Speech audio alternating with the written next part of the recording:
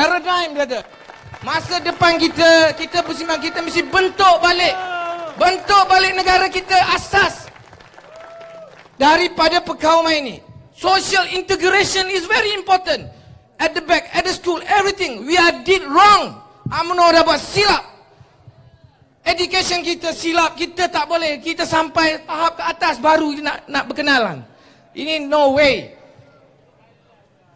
Ketakkanlah kita tuan-tuan. Sini Melayu jalan, sini Cina jalan, sini India jalan.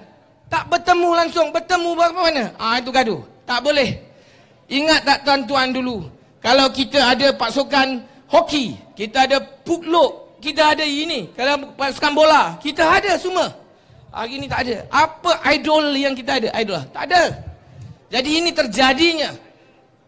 Kita tidak boleh bersifat perkauman terlalu sangat. Terlalu sangat ini. Too much. Minta maaf ya. Saya berdiri di sini, ada yang saya kenal, ada yang saya tak kenal. Tapi saya berharap sungguh bagi parti Perkataan Harapan janganlah kita buat silap. Ini kali sebab lain kali tak mungkin. Cuba tuan fikir. Lain kali mungkin ah, Dr. Mahathir ada ke tak ada? Tak tahu. Tapi alhamdulillah kita syukur kali ini kita terbentuk satu pasukan yang kuat untuk menentang Barisan Nasional. Tuan-tuan tengoklah parti. Jangan takut. Kita mungkin kalah dari segi bendera ya. Pemasangan bendera tak menandakan apa. Kita mungkin. Tapi kehadiran tuan-tuan. Ah, ini menggerunkan UMNO. Saya nak beritahu tuan-tuan. Calon UMNO untuk N44 ni. Ialah Datuk Hamzah. Saya kenal dia. Dalam UMNO bahagian Kuping. Dulu dia lawan ketua bahagian. Dulu dia tutup bilik gerakan bahagian. Bilik gerakan pilihan raya. Hari ini dia calon. Tuan-tuan percayalah. Orang AMNO pun tak kasih dia undi. Kerana kalau dia berputar, kamu buat orang, kamu akan kena balik. Ha, ini terjadi nanti. Ha, jadi janganlah tuan-tuan takutlah. Siapakah? N44 memang boleh kita ambil, kita tawan. Baik pun PAS. Kerana saya juga dulu jaga peti undi N434 dulu ialah di Taman Taufik. Siapa yang memberi kemenangan kepada PAS? Orang-orang Tianhua. Orang Cina yang beri. Itu Taman Taufik. Itu sebab PAS menang. Hari ini ada lima bulan kita pastikan Cina menang Tianhua akan bernanti kita. Kita hanya nak 25% saja. 30% Chinese vote is there. We want 25 only. We get it. Orang Melayu turun. Orang Melayu ada terbagi pada tiga. Tuan-tuan. Cuba fikir balik. Saluran dua, saluran satu, saluran dua, saluran tiga. Dia buat pembatasan. Tapi dia tak tahu. Ada generasi satu, ada generasi dua, ada generasi tiga. Itu sebab orang Melayu pening. Tok dia nak sokong BN. Ada dalam keluarga. Tok opa sokong dacing. Anak menantu mak mak anak perempuan sokong dacing. Suami sokong sini. Tapi generasi yang ketiga anak cucu tidak. Langsung tak mau. Ha, ini pening. Tapi alhamdulillah cucu cakap kepada nek opahnya Opah kalau opa sayang sangat kepada Barisan Nasional ni, opa pangkahlah. Pangkah satu kali, pangkah dua kali. Apa jadi tuan? Rosak undi. Ah. Suruh pangkah satu kali, satu kali, dua kali. Sebab terlalu sayang sangat Barisan Nasional. Ah, kita tak boleh salahkan opa. Dia dah lama dah dapat duit tu kan. Ah, jadi ini. Tuan-tuan, yang anak-anak muda ni, jangan takutlah pada BRIM yang akan dijanjikan tak ada. Tuan-tuan fikir balik ya. Hari ini kehidupan kita pergi ke ke pasar lah. Saya pergi pasar, tengok ikan kembung satu kilo dua puluh ringgit. Ikan ini semua mahal. Orang mengeluh. Ah ha, beli mana-mana pun. Tuan-tuan, kos kehidupan kita dah tinggi. Percaya tak? Satu ribu ringgit sekarang tinggal nilai enam ratus ringgit. Ini seperti Tuan Rafizi cakap lah. Saya bukan cakap. Tapi saya saya belajar juga. Sebab kita nilai pembelian dah kurang. Harga dah naik. Dia kata kita kita boleh berjimat. Tak boleh tuan-tuan. Dulu boleh dapat, sekarang tak boleh dapat. Orang pencen dapat seribu nilai dah tinggal tujuh ratus. Bayar GST RM35. Satu, satu ribu, 6%, berapa? RM60, tinggal RM940. Dia kasih BRIM 430, satu tahun, RM33 bayar, satu tahun. Ambil balik kita. Jadi, duit BRIM adalah duit cukai. Kasih balik kat kita. Kita bayar, dia kasih balik. Jadi dia suka. Alhamdulillah. Hari ini tuan-tuan, Perhatikanlah di mana saya percaya di hati tuan-tuan di sini baik di mana pun di dalam ni dendam. Bukan dendam membara. Panas membara. Kerana marah pada kerajaan. Nak cakap tak boleh nak ini tak boleh. Ya ya ya ya. Ni kita orang Melayu ni kalau kita benci orang atau tak suka kita kata eh, meluatlah mata tak boleh pandang. Tapi kalau dah tengok gambar si Najib tu dekat TV tutup dia kata. Betul tak tuan-tuan? Itu dah tahap maksimum. Maksimum. Tengok TV tu, tengok. Eh, tu, eh toke lah. Mama, you tutup itu cerita lah, TV 3. You buka bola lagi bagus, senang. Saya mau makan, senang lah. Betul? Betul. Ah. Apakah yang kita nak ubah bentukkan yang tidak ini? Bagaimana? Hak tuan-tuan pada 6 hari, 9 hari bulan 5, pastikan undi Pakatan Harapan. Ini, ini baru betul.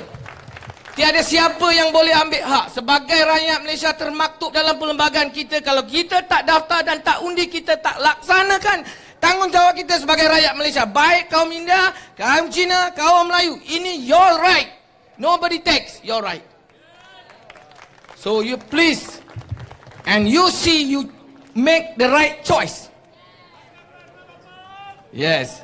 We want change and we can change and we must change for the future. Itu je tuan-tuan. Terima kasih alhamdulillah.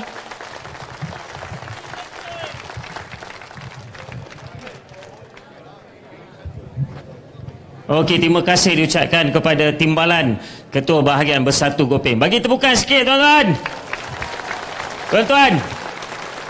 Dia hentam UMNO lagi dahsyat daripada kita hentam. Ah ini mantan orang UMNO.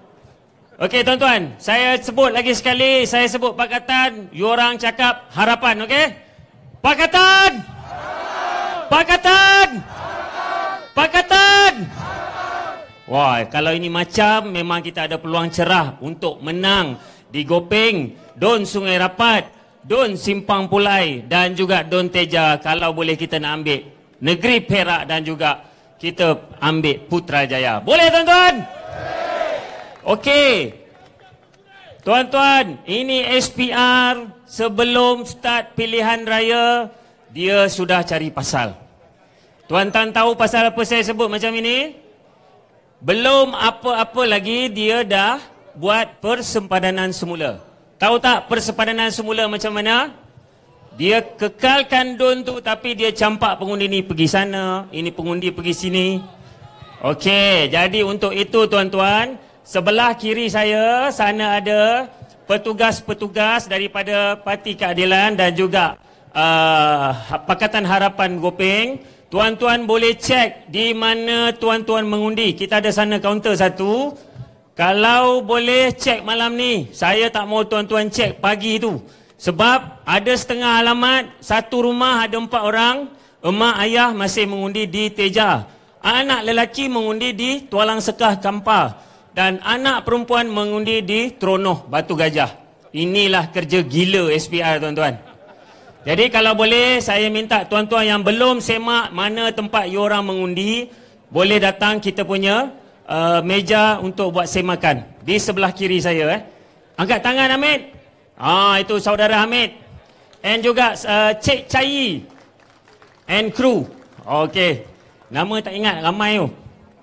Okey tuan-tuan. Satu lagi saya nak minta tolong. Kita mau menang betul? Kita mesti mau ambil ini Putrajaya dan juga Negeri Perak betul? Okey, kita tengok depan ini angkat tangan Dr. Lee Buncai calon Parlimen Gopeng. Dan juga Tan Kahing calon N045 Sempang Pulai. InsyaAllah Datuk Seri Niza dalam perjalanan akan bersama-sama dengan kita. Tuan-tuan, kita mau menang. Tapi ada satu barang lagi kita belum cukup mau pergi perang. You tahu apa? Itu pacaba, bukan duit lah. Ayah. Duit boleh dapat mah, no problem. Ini polling agent, counting agent, barung agent. Ini penting tuan-tuan. Ha? You tak cukup. You panggil Dr. Lee cakap sini. You panggil Tun Mahathir cakap sini. Ha? Tapi waktu undi punya jam, dalam bilik mengundi ataupun bilik kelas ataupun dekat sekolah, kita punya ejen tak ada. Itu kotak undi kita boleh menang, ha, dia sudah swing. Jadi, dia orang menang. Ini Barisan Nasional. Sebab, dalam kita tak ada ejen ataupun kita tak ada polling agent atau counting agent.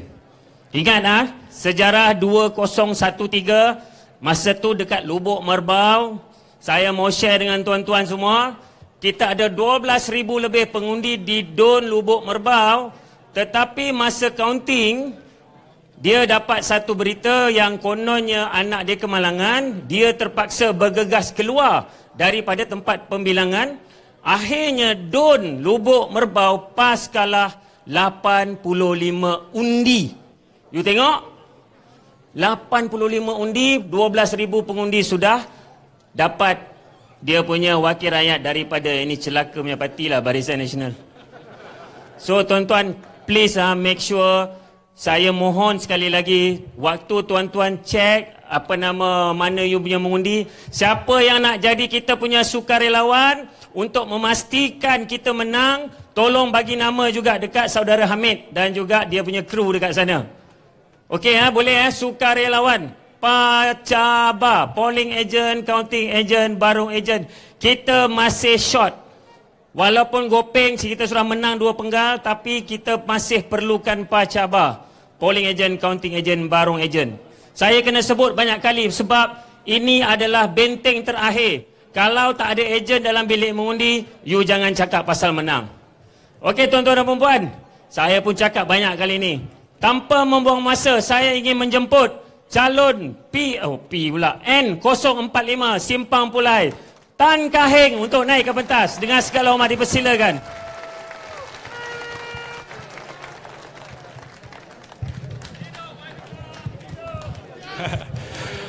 Uh, terima kasih kepada pengacara majlis saudara uh, Tommy kepada calon Pakatan Harapan Parlimen Gopeng Dr. Lee Boon Chai.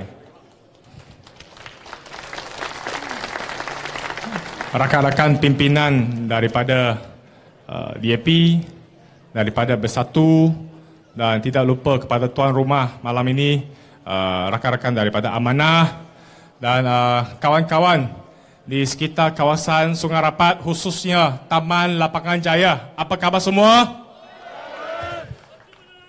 Terima kasih kerana hadir pada malam ini. Minta maaf di sebelah sini saya tak nampak sangat sebab lampu tu cerah sangat.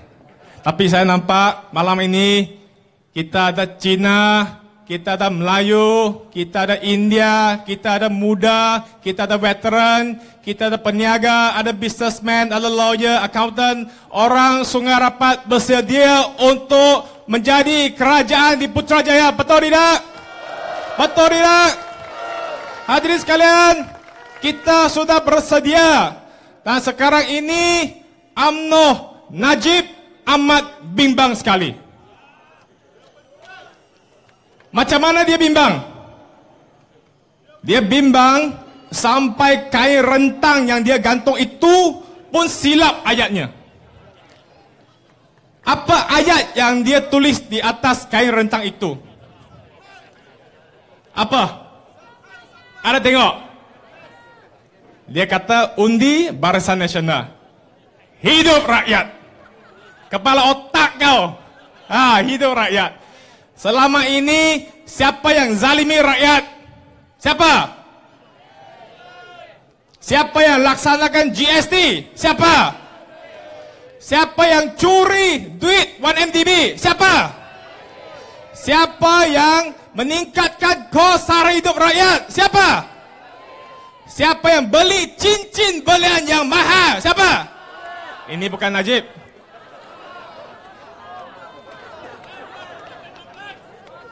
Hadirin sekalian, sekarang dia amat bimbang sampai kain rentang dia pun ciplak slogan Pakatan Harapan.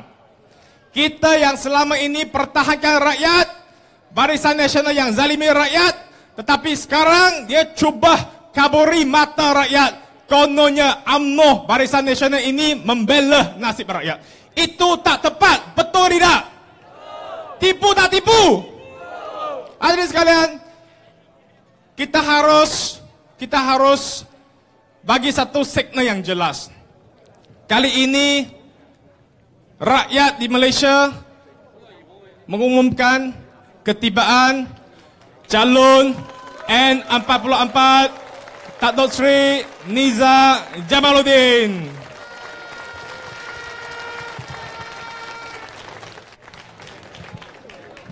Handsome tak handsome? Saya handsome kan? Adik sekalian, alah tadi sampai mana? Ah, tengok orang handsome saya pun sudah silap sikit. Okey, adik sekalian, dia curi duit rakyat. Dia yang laksanakan GST, dia yang tubuhkan 1MDB dan semua uh, wang rakyat dicuri. So, berapakah jumlah cukai GST yang mereka telah pun kutip? Selama pelaksanaan GST ini, Kerajaan UMNO Barisan Nasional telah kutip lebih daripada 100 bilion ringgit Malaysia. 100 bilion ringgit Malaysia, tuan-tuan dan puan-puan, setahun di sekitar 42 bilion ringgit Malaysia. Hadirin sekalian, kalau tak tahu apa itu 100 bilion ringgit, saya bagi contoh bajet untuk kerajaan negeri Perak satu tahun satu bilion saja. 100 bilion boleh bagi kerajaan negeri Perak pakai berapa tahun? Pakai 100 tahun. Tapi kalau you gunakan kutipan cukai GST ini untuk bina sekolah, untuk bina hospital, tak ada apa. Kita okey. Tak ada masalah. Tapi saya ingin tanya kawan-kawan sekalian, adakah kemudahan asas ini, kemudahan awam ini dipertingkatkan di kawasan Ipoh? Ada tak? Hadir sekalian, kalau you kutip cukai, you kata negara tak ada duit, tak apa, kita boleh ikat perut bersama dengan kamu. Tetapi Najib Razak, Rosmal Mansur dengan anak tiri kamu, hidup mewah, naik jap kapal jet peribadi, pergi melancong di Australia, ini kita tidak dapat menerima. Betul tidak? Kalau susah kita sama-sama tak apa. Ya, tapi sekarang dia kutip cukai, tak buat kemudahannya awam yang sempurna. Saya bagi contoh, hadirin sekalian, IPTA, masalah anak muda sekarang, IPTA tak cukup, tempat tak cukup. Dalam rancangan Malaysia yang ke-11 untuk tahun tempoh tahun 2015 hingga 2020, tak ada sebuah IPTA pun dalam rancangan Malaysia itu tak akan bina satu biji IPTA baru pun. Apa maksud ini? Ini bermaksud tempat belajar di dalam IPTA itu semakin kurang. Anak muda yang nak belajar walaupun keputusan cembalang tapi mereka tak boleh masuk ke IPTA dan mereka dipaksa untuk masuk ke IPTS. Dan semakin banyak orang anak muda kena pinjam PTPTN. Emak ibu kena kerja. Barangkali nenek ataupun kena kerja. Betul, tak tipu. Ha, ada orang yang kena kalau kalau kamu petah, perhatikan di sepanjang jalan. Dulu tak ada ramai gerai uh, burger ke, nasi lemak ke, mihun goreng ke, sup power ke, sup ekor ke kan? Tapi sekarang ni semakin banyak sebab anak muda sekarang kena tanggung hutang yang banyak. Sebab IPTA tak cukup, dia kena masuk IPTS. Dan pinjaman itu anak muda kena pikul sebelum dia masuk ke dalam alam pekerjaan, dia kena mula membayar hutang tersebut. Dan ini telah menyebabkan ramai anak muda yang dimasukkan dalam sekris blacklist, yang dihalang keluar daripada negara, yang disenarai hitamkan, tak boleh beli kereta, tak boleh beri rumah. Betul tidak? Dan ini akan menyebabkan generasi ini menjadi generasi yang menanggung hutang. Dan bab ini kita tak boleh bertoleransi lagi. Tak boleh bertoleransi lagi dengan UMNO Barisan Nasional. Sebab kalau perkara ini terus berlaku, anak muda ini nanti akan membawa hutang ke generasi-generasi yang akan datang. Dan bukan setakat itu, perubatan, kemudahan perubatan yang kita ada pada hari ini, apa yang berlaku? Adakah kita ada hospital yang baru? Adakah tidak? Adakah kita boleh dapat ubat yang lebih banyak? Kalau kamu pergi queue di beratur di hospital awam di Ipoh, adakah lebih cepat setengah jam boleh settle? Tunggu berapa lama? Satu hari. Setengah hari. Ah, kadang-kadang you parking kat luar pun kereta kena saman. Betul ah? Ah, pergi ambil ubat, farmasi nak tunggu 100 orang. Saya bagi contoh, saya dulu pergi klinik di Gunung Rapat, pergi cek gigi. Lepas tu, saya pergi ambil painkiller. Ambil nombor giliran, tunggu 100 orang. Ha, ini semua yang berlaku. Hadirin sekalian, sudah cukuplah kita bagi peluang kepada Najib Razak. Dan saya yakin kali ini kita boleh menang Putrajaya. Sebab apa? Sebab apa? Saya ingin bagi tiga contoh. Tiga contoh kisah benar yang berlaku, yang jumpa dengan saya. Mereka bersedia untuk berubah. Siapa mereka? Hadirin sekalian, pernah ada anggota UMNO datang jumpa saya. Dia tunjuk kad. Bukan kad kredit kad, bukan kad ATM. Dia tunjuk kad anggota UMNO. Lepas tu dia kata, ini kali kena ubah, kena tukar. Saya bagi kisah benar. Bukan yang saya bagi cerita tau. Betul yang datang, tunjuk kad, kata kali ini kena ubah. Perkara ini tak pernah berlaku pada PIU yang lepas. Kalau kita bagi risalah, dia akan koyak, campak di atas lantai. Tapi sekarang kita bagi satu, dia minta satu lagi. Perkara kedua, orang yang kedua datang jumpa. Dia kata apa? Dia kata dia kontraktor UMNO. An, uh, bini dia, wanita UMNO, ada jawatan yang penting di kawasan Ipoh. Dia kata, kalau dulu dia potong saya punya tangan, darah yang mengalir keluar itu biru tuh. Tapi kali ini, kalau potong tangan dia, darah itu tetap biru juga tapi biru muda.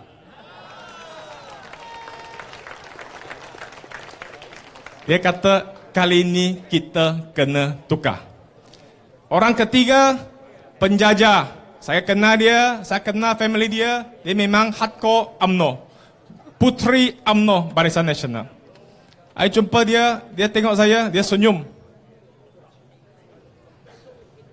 BHC 6625 Kia, sila alihkan kenderaan anda. Orang ketiga, saya jumpa penjajah Putri UMNO Barisan Nasional. Saya saya kenal dia. Dia tengok saya senyum. Saya ingat saya handsome, dia senyum. Memang handsome pun lah. ha, lepas tu masa saya nak bayar, dia bagi tahu saya. Dia kata, ada t-shirt. Ada t-shirt. T-shirt apa tu? T-shirt keadilan. Dia nampak saya pakai keadilan. Hadirin sekalian, tiga contoh ini setakat minggu lepas dan saya yakin ini adalah tahap permulaan. Dan kalau kita masuk masa kempen pilihan raya, saya yakin ramai lagi anggota UMNO Barisan Nasional akan sertai agenda reformasi kita. Betul atau tidak? Betul atau tidak? Saya yakin sebab saya tak salahkan anggota UMNO Barisan Nasional di bawah. Saya tak salahkan anggota MCA biasa di bawah maupun MIC gerakan yang di bawah. Tetapi pimpinan atasan kamu yang rosak, yang jahat, yang curi duit rakyat, mereka itu yang menyebabkan kamu sentiasa dimaki hamun. Dan saya menyuruh kawan-kawan sekalian, kali ini kita kena ubah. Sebab kali ini kalau kita tak ubah, peluang tak ada dah. Kita lihat Mahathir umur berapa dah? Berapa umur Mahathir? 93. Anwar 70 lebih. Lim Kit Siang ada kanser. Kapasing tak ada dah. Kalau kita miss kali ini, kita kena tunggu berapa tahun lagi saya pun tak tahu. Lepas itu, Rafizi Ramli akan disumbatkan ke dalam penjara. Mungkin nanti Dr. Lee Boon Chai Niza pun menimba uh, nasib yang lebih kurang sama. Hadirin sekalian, uh, saya uh, minta maaf sebab uh, saya hari ini bukan dalam kondisi yang mantap dan baik sebab semalam satu malam saya tak tidur. Sebab semalam uh, masa untuk kita umumkan calon belum dapat watika lagi. Tadi balik dari KL. Awal pagi pukul 5 bawa kereta ke KL isi borang balik. Tak sempat lagi dapatkan watika. Tapi kalau saya dapat watika untuk Dun Simpan Pulai, bolehkah anda sokong kepada keadilan? Saya mohon maaf jika saya tak perform dengan baik.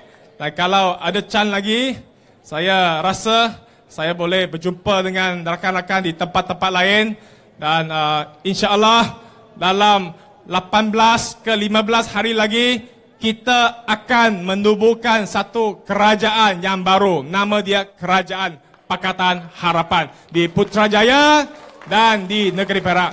Sekian saja. Terima kasih. Nandri Manakam. Sisi.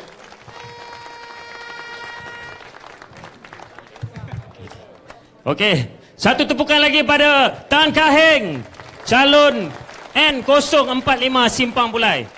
Tuan-tuan, sekali lagi saya umumkan kenderaan BHC Babylon Honduras China 6625 Kia warna hitam tolong alih kenderaan anda. Ada kenderaan nak keluar dah ganggu.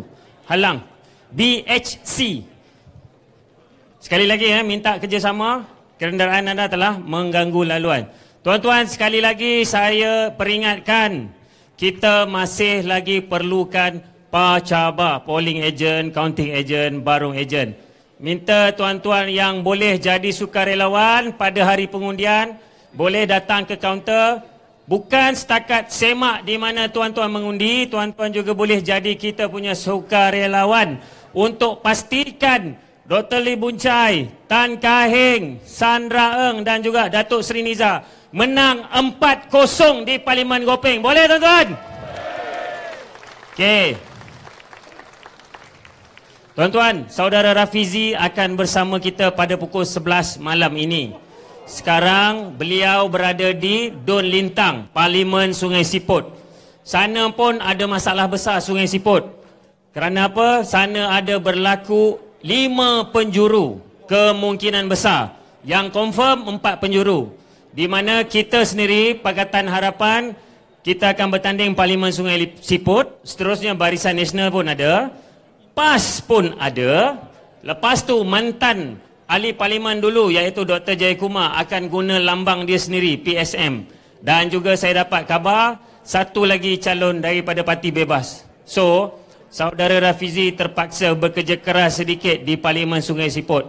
Tapi apapun kita akan sama-sama berdoa agar Sungai Siput kita kekalkan dan Parlimen Gopeng kita juga kekalkan 4-0.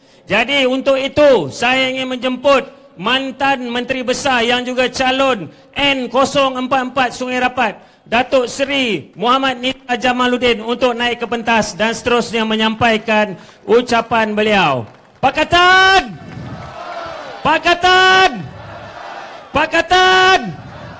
Ah, Datuk Seri, berucap.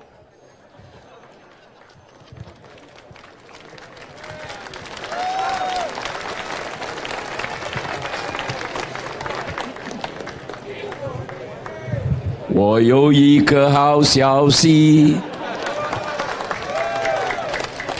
很想很想告诉你，你猜猜是什么？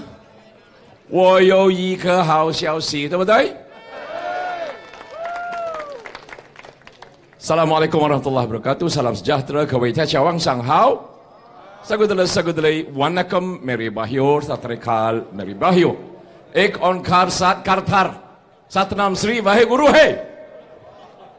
Alhamdulillah alhamdulillah wa syukrulillah wassalatu wassalamu ala rasulillah. Yang bahagia saudara Tommy, selaku pengusi pada malam ini Beri tepukan kepada Boon Chai, calon Parlimen Goping. Tepukan kepada saudara Tan Kah Heng, calon Dewan Undangan Negeri Sepang Pulai. Dan kita akan sama dengan saudara Rafizi pukul 11 nanti. Saudara-saudara, Simpang Pulai kita mesti kasih menang. Bersama dengan Simpang Pulai, Sungai Rapat dan juga Teja. Sebab apa? Sebab kita telah menang dahulu 4-0. Hari ini mereka cuba sedaya upaya untuk menggagalkan program Pakatan Harapan di keseluruh tiga-tiga don dan Parlimen Goping. Mereka beria-ia sangat nak merampas don dan juga Parlimen Goping. So we are now appealing to the people of Goping, particularly in Don Sungai Rapat, to give all your votes and family votes to Pakatan Harapan. Why? Because we we endeavor to have a new government. If we do not change the existing government, then we're going to suffer for the next five years. Would you want your generation, sons and daughters, next five years? No way. Because we are suffering now. For the last 10 years, we have suffered. Kalau kita tak buat apa-apa, cucu cicit anak kita lagi 5 tahun, 10 tahun mereka akan menderita lebih dahsyat pada kita. Betul tak betul? That is the reason why we have to change the government and we must change the government. 我们一定要选希望联盟，对不对？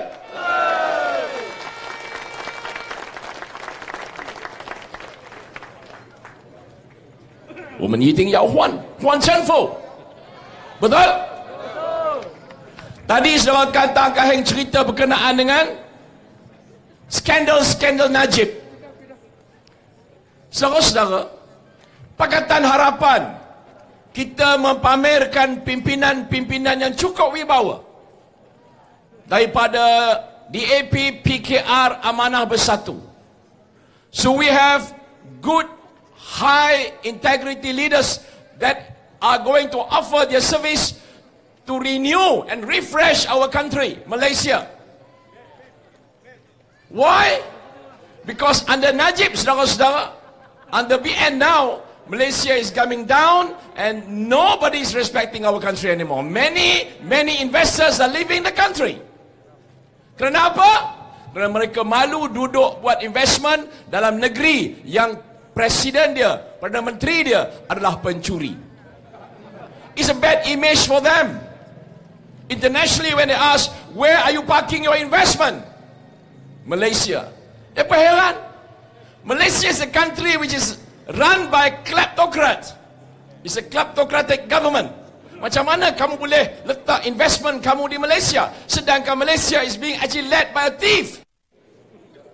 Yang itu menyebabkan kita malu.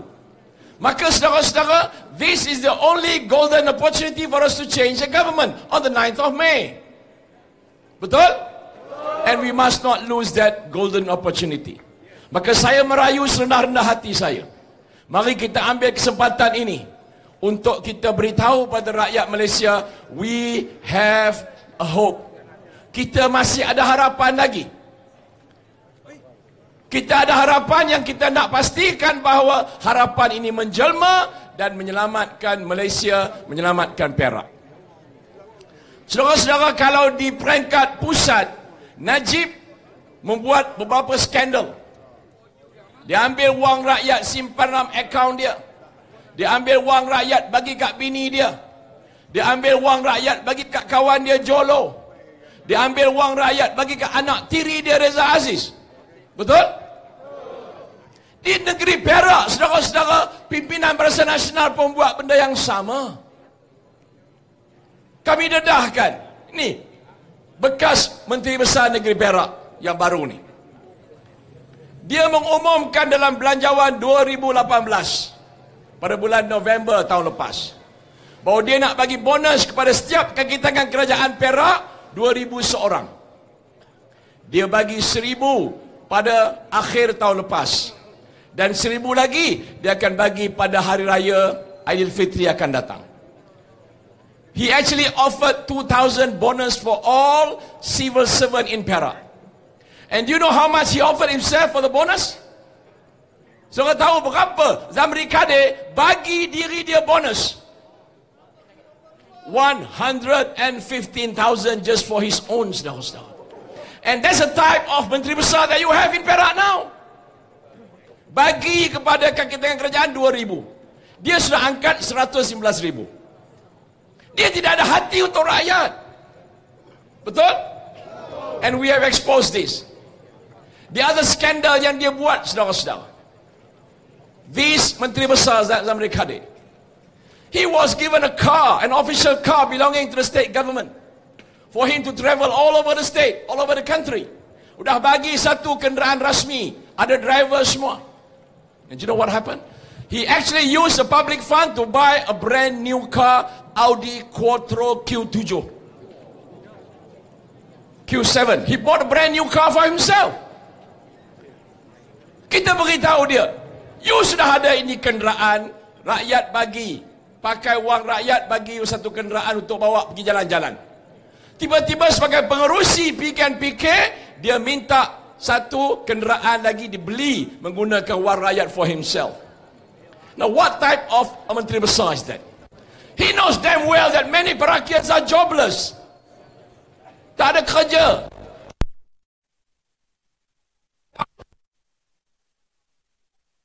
Habis balik ke Kelong, Taiping, Tanjung Malim. Mayo Jokong, tak ada kerja. Kena bayar utang PT-PTN. Dia boleh beli sebuah kereta harganya. What is the market rate of that car? Anybody knows the price of that car? The market value. Audi Quattro Q7, brand new. 622,000. Dia pakai wang rakyat beli kereta untuk dia sendiri.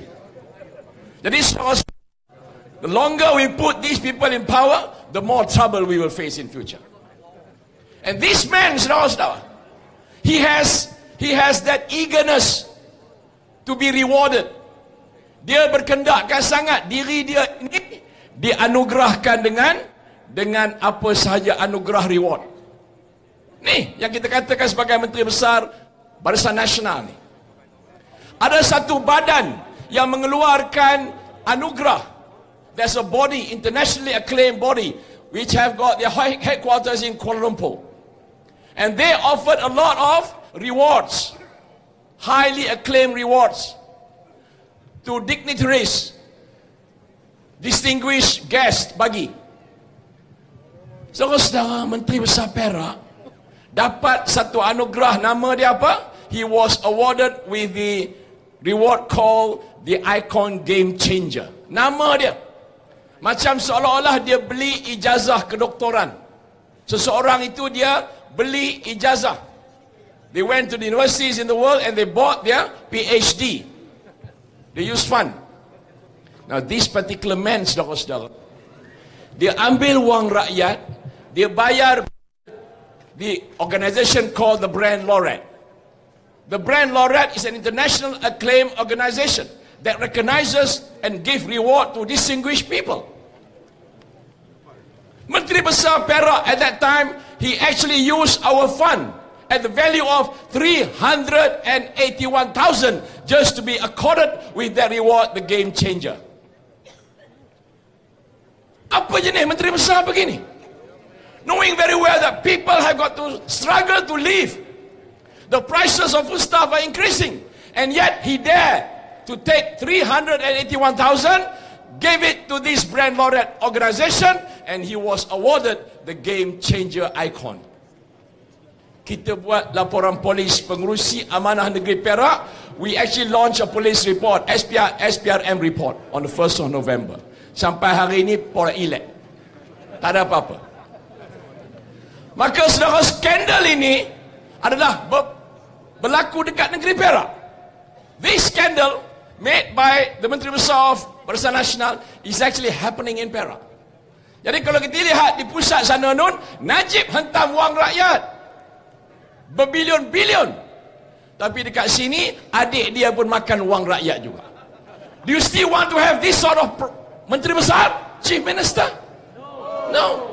So this is the only chance now for us to move Barisan Nasional and put Pakatan Harapan. For 11 months I was in the Chief Minister office. I was there for 11 months. And I knew how to increase the Perak state revenue.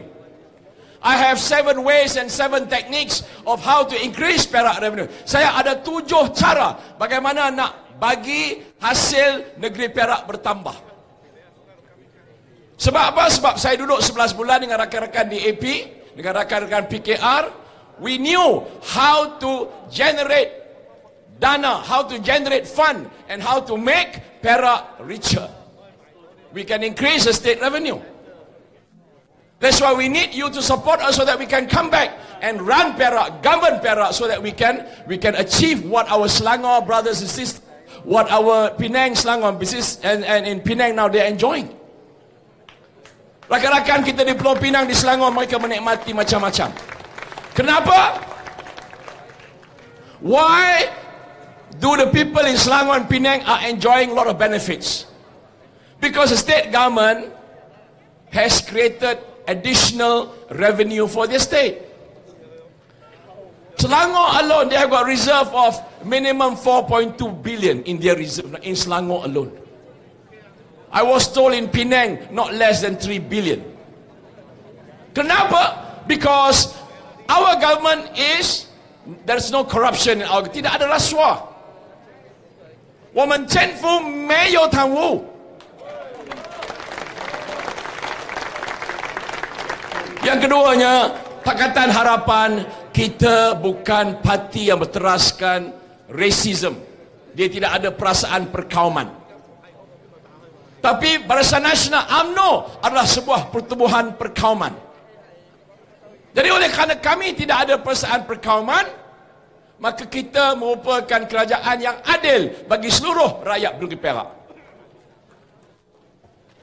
我们没有穷就有义。 Itu betul? Jadi saudara-saudara, kalau kita nak bagi rakyat Perak ini banyak manfaat, if you want to give benefit to the people of Perak, we have to increase the Perak revenue. At the moment, BN government, they do not know how to create more resources, more income for the state. So we not enjoying anything. Kita hanya dengar cerita Selangor, ada bas percuma. Selangor ada kad health ataupun kad kesihatan. Di Selangor ada imbuhan untuk anak-anak Selangor yang lahir di Selangor. Orang-orang Selangor nak kahwin ada imbuhan di kerajaan. Kita Perak ada apa-apa yuk? Apa tak mandang ilek poci? Betul? Why? Because there is not enough fund, there is not enough revenue for this state. Because they only rely on land tax. Kerajaan yang ada hari ini hanya bergantung pada income hasil tradisi iaitu cukai tanah, cukai, cukai, cukai. Dan dia tanah. Beri tepukan kepada seluruh Rosli dan isteri mereka. Mereka ini dianiaya oleh Kerajaan Barisan Nasional Perak. They have been operating sebagai usahawan di Megaplex kepunyaan PKN-PK. Mereka telah pun ubah suai Silver Heritage yang sepat kos hanya 11 juta. Yang hanya buat up saja. Tiba-tiba kos meningkat sampai 17 juta. Dan dihalau mereka daripada Megaplex keluar pergi ke Silvertage bagi 3000 ingat mereka ni ayam ke? Mereka ada maruah mereka telah berniaga di Megaplex sekian lama daripada asal mereka diarah pergi ke Silver Heritage untuk menjustifikasikan investment 17 juta di Silver Heritage itu adalah berbaloi bagi rakyat negeri Perak. So give a round of applause to saudara Cik Rosli dengan isteri dia. Ramai kawan-kawan dia telah meninggalkan Megaplex pergi ke Silver Heritage. Ada beberapa bangunan Perak ini kerajaan masa nasional jual. Kenapa jadi macam tu? Sebab mereka tahu pilihan raya nak datang, kemungkinan besar mereka kalah, so mereka jual bangunan-bangunan kerajaan yang ada di negeri Perak hari ini. How selfish are they? Maka saudara-saudara, saya nak bagi contoh bagaimana kita nak tambahkan revenue kerajaan negeri Perak. We have a large land base in Perak. Kerajaan Perak banyak tanah yuk. Salah satu agensi kerajaan pusat yang kita bagi tanah yang banyak namanya Lembaga Lebuh Raya Malaysia LLM. That was way back in early 1980s. Because there was an understanding under the Constitution federalism that we have to accord land to LLM because they wanted to construct the highway, north-south highway. So kita bagi tanah. And that land is 250 kilometers running from Tanjung Malim right up to right up to Parit Buntar. We gave them FOC because they are constructing highway for the people. Sekarang what happened? Ada lagi ke LLM? Elect. Who is running Plus Highway now? The South Highway. Who is managing and running them? Plus. So LM dah tak ada, dia tidak lagi menguruskan, Plus ambil alih dan Plus charge siapa-siapa lalu antara Tanjung Malim sampai Parit Bunta kena bayar tol. Therefore deep in our heart we believe that if you are charging the public for your profit, for your income, and the Perak government gets nothing, therefore it's high time now we have to review the agreement between LLM and the state government so that you can give us some some quantum of royalty. So you tak setuju? So we intend if you give us a mandate kita dapat kerajaan hasrat kami nak panggil pengurusan plus the plus management. Bincang dekat pejabat menteri besar. You have been using our land for the last 20 years. We got nothing out of it. And you have tons and tons of profit. You gave your staff 5 to 6,000 5 to 6 months bonus which indicate that you have tons of profit. Therefore it's very fair for you to give some to the people of Perak betul tak betul we will offer them a proposal in terms of an equation we have a formula how and what quantum per year that they should give to the Perak government. Our simple calculation, saudara-saudara, 250 kilometers, 365 days they are charging the public. Easily we can get from plus 25 million per year. Royalty to Perak government. 25 juta kita dapat daripada satu plus sahaja. Kita boleh agihkan and we, we can distribute to the Perakian equally. Those who are, who are in need to repair their houses. Those who are in need to send their parents to hospitals or private centers. Kita ada imbuhan dan juga pendapatan. I'm only talking about one agency plus. You have six more agencies. They have taken even much bigger land from Perak. If you go to Seberang Perak, 30,000 hectares of Perak land was given to Felkra. You know what Felkra is? 30 ribu tanah orang Perak diambil di Felkra Seberang Perak. Saya tanya dalam Dewan, apa Felkra bagi kat rakyat Perak? Apa tak mandang yuk? Ile pocek. We gave them 30,000 hectares of land in Seberang Perak. They planted paddy, they planted palm oil, and they got tons and tons of profit. What do we get? We got nothing. Therefore, deep in our heart, we are saying that, look, we got to call the Felkra management and tell them, be fair to the Perakian. You have been toiling on our land for the last 45 years. Therefore, it's high time now, give us a consideration to give whatever royalty in terms of our agreed formula. Minimum, saudara-saudara, bila kita calculate, Perak government can achieve 40 million daripada Felkra. So kalau 40 juta setahun Felkra, 30 juta setahun Felda, 20 juta setahun Risda, 20 juta setahun Petronas Sri Iskandar. Initially that land was given to USM. But USM has changed the identity. They have given that university to University Petronas. Petronas is a profit-making entity, profit-making body. They're doing business internationally and locally.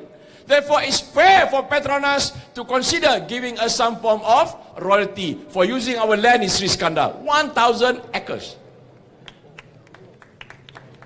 Dulu kita bagi tanah pada LLN.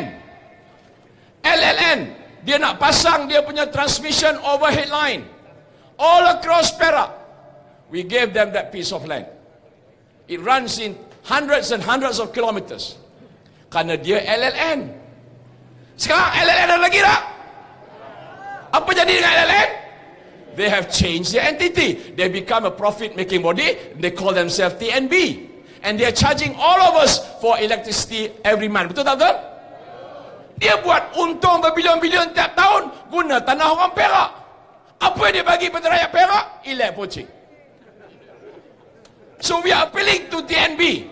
Since now you are profit making body, why not you offer some royalty to the people of Perak?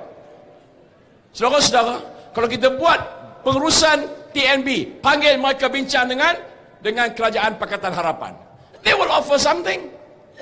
At least saudara-saudara kita dapat tambahan revenue, therefore we can equally distribute them to the people of Perak. Setuju tak setuju? That's the reason why you have to give your mandate and give the power to Pakatan Harapan. Because kita tahu bagaimana nak tambah hasil bumi negeri Perak. Perak is a rich state. Used to be the wealthiest state in 1960s. Kalau you pergi dekat mana tu depan Hill City tu, depan orang jual lima Bali, there used to be a big Mercedes sign, Mercedes-Benz sign on top of the mountain. Betul tak betul? For those who are actually quite veteran in Perak. Masuk Perak, nampak itu simbol Mercedes-Benz atas gunung Semampulai itu. What happened? Sebab Mercedes-Benz in Stuttgart, Germany, they were exporting Mercedes at that particular year to a country called Perak and the most numbers. Kalau you pergi ke Stuttgart, you know, Stuttgart, Stuttgart Museum for Mercedes-Benz, it was, it was recorded in that particular year, they exported from Germany the largest number of Mercedes-Benz to a country called Perak. Not even Malaysia. Yang tu yang dia boleh letak logo dia Mercedes-Benz dekat dengan gunung di Gunung Rapat tu. What happened to Perak now? After giving them 60 years mandate, Zamri berjaya menjadikan Perak negeri yang kedua termiskin di semenanjung Malaysia. The second poorest state in Peninsula Malaysia is called Perak. Negeri ini kaya. Betul? Tapi Zamri hanya berkemampuan menjadikan Perak negeri yang kedua termiskin di Semenanjung. What a shame, saudara-saudara. Sepatutnya Perak will be even much better or at least at par with Selangor, at par with Pulau Pinang. Hari ini Perak kedua menjunam, miskin, rapat di, di, di, di Semenanjung. Why? Kementerian Keuangan buat kajian. Berapa ramai rakyat setiap negeri yang paras gaji pendapatan bulanan kurang 2500 sebulan. Their household income is less than 2500 per month. And you know what? In Perak, we recorded the highest number 200,000 families are living below than 2500 ringgit per month. 200 ribu keluarga Perak yang income pendapatan tiap-tiap bulan kurang 2500. Bayangkan yo, Yong, Gaji kau orang 2,500 nak bayar sewa rumah. Nak bayar kereta. Nak bayar GST. Betul? Jadi sebab Perak negeri yang kedua termiskin. I'm telling you because this was a statistic done by Kementerian Keuangan. Khazanah yang buat kajian itu. So saudara-saudara, saya merayu supaya orang-orang Perak tukar kerajaan Barisan Nasional dan letakkan Pakatan Harapan. Boleh tak boleh? Boleh. Eating Yao Huan, betul tak betul? Masang Huan. Mesti ubah hari ini. Bu Yao Xuan Ma Hua. Betul? Bu Yao Xuan Wu Tong. Zai Xin Sungai Rapat. Bu Yao Xuan Wu Tong. Bu Yao Xuan Guo Chen. Tak ada pilihan. UMNO bertanding singa, di Sungai Rapat. MCA bertanding Parlimen Gopeng. MCA bertanding di, di Simang Pulai. Kita mesti kasih lawan semua kasih menang Pakatan Harapan. Boleh tak boleh? Menang Pakatan Harapan. Kita berjanji saudara-saudara. We will not forget you in Sungai Rapat in Gopeng. The problem with us, a lot of intellect, clever, brainy Perakians, they're leaving our state. Mereka belajar jauh-jauh luar negara. Balik Perak, Mayo Chua Kong tak ada kerja. So mereka pergi ke mana? Mereka bekerja di Singapura. Mereka kerja di England. Kerja Australia. Mereka kerja US. Mereka kerja di Kanada. Mereka kerja di Taiwan. Kalau saudara buat survey-survey, most of these brain drain that have left Perak, the largest number of them come from Perak. Yang paling ramai sekali para para profesional yang tinggalkan Malaysia dan mereka bekerja di Singapura, bekerja di Australia. We have a serious brain drain problem. Most of them are Perakian. Kalau kita buat satu program untuk invite them, woo them to come back to Ipoh kita jemput mereka kembali balik ke Perak. Dan kita beri mereka berapa insentif. Saya yakin mereka balik, mereka akan tinggalkan Singapore, tinggalkan Taiwan, tinggalkan Australia, they will come back to Ipoh. Then they will use all the expertise, kepandaian dia, kemahiran dia, pengalaman dia untuk improve the Perak economy. Setuju tak setuju? So the government of Pakatan Harapan comprise of brainy people comprised of clever and experienced people. Ini lebih elok. Tidak sekarang ini yang ada Ahmad Maslan Barisan Nasional. Kenal Ahmad Maslan? Apa tak guna? Betul ya kata Yuk? Yung orang mana Yung? Kata dia apa tak guna? Punya orang lama je. You know what Maslan said? One of the one of the ministers in under Najib. You know what he said?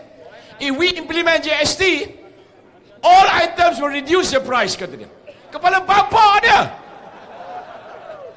Tanya Mak Maslan, apa yang turun hari ini? Harga apa yang turun? Dr. Limu Chai kata, yang turun hanya hujan. Siai, siai yang turun. Lain punya semua naik harga, betul tak tu? Ini punya menteri. Perusahaan Nasional punya menteri. So Perak, saudara-saudara, kalau Pakatan Harapan menang, kita tidak akan ada individu-individu macam ni. It comprise of learned people. It comprise of people that can that that have that know their their trust, their integrity, their responsibility. We are accountable. Hanya di Pakatan Harapan. Itu sebabnya kerajaan Pulau Pinang, kerajaan Selangor boleh tambah income dia. Sebab dia tak curi wang rakyat. You kasih ini biar lagi satu kali dan lagi curi. Betul? Serupa you ada simpan ayam tau. You ada belah ayam. You taruh itu musang jaga itu pintu ayam. Hali-hali dia makan itu ayam lah. Hali-hali tengok-tengok sudah habis ayam. Siapa makan itu musang makan lah. Itu musang najib lah saudara-saudara.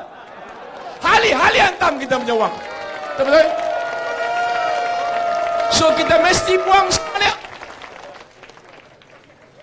Mesti buang sama dia dan taruh Tuan Dr. Mahathir, Wan Azizah, Lim Guan Eng, Lim Kit Siang, Mak Sabu dan juga pimpinan-pimpinan Pakatan Harapan. Setuju tak setuju? Barulah kita nalar negeri kita. Nalar ke? Tapi kalau ambil juga ini BN, ini BN, nalai lah. Betul? Najib, Rosmah, nalai lah. Nila, nalai lah. Jadi saya mengharapkan bahawa pilihan raya kali ini saudara-saudara GE14 on the 9th of May we have only one choice that is pangkah dan pilih Pakatan Harapan that's only our choice to save cucu Malaysia betul? Mayo Sin de Chenfu Mayo Siwang betul betul? kita hanya ada harapan baru kalau kita ada ada kerajaan baru. Jadi untuk itu bagi melegakan saudara, saya dedikasikan lagu sebuah lagu pada semua orang supaya kita buat perubahan. Boleh tak boleh? 这个是这个这这么很美好， 你有没有用心找？你是我心中的宝，而可是你都不知道。这个世界很美好，你有没有用心找？你是我心中的宝，My love。布达乌迪巴克达哈罗班，谢谢感谢你，One and Terima kasih，Romba Nandri。Assalamualaikum warahmatullahi wabarakatuh. Sekian terima kasih. Bagi satu lagi tepukan kepada mantan Menteri Besar kita Datuk Seri Niza Jamaluddin.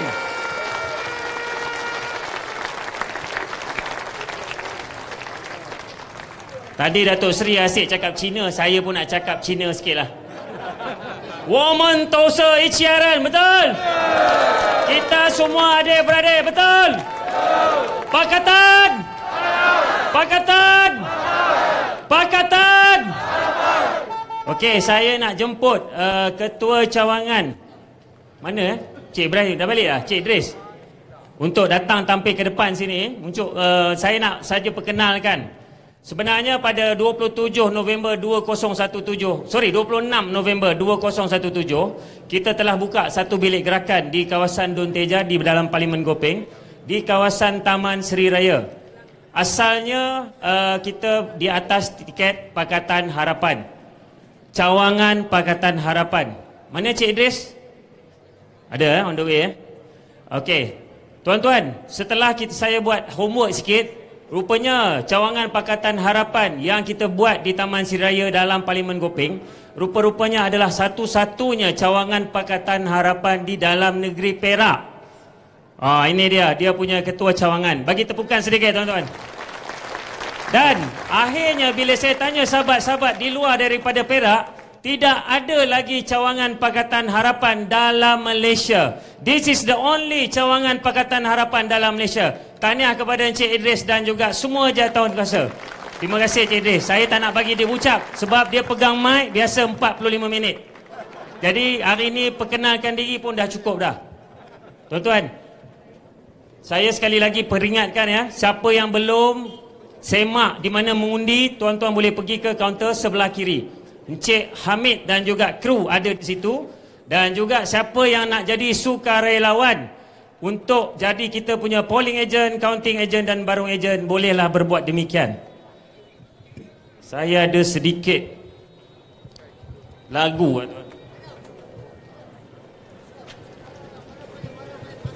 Apa tu bang?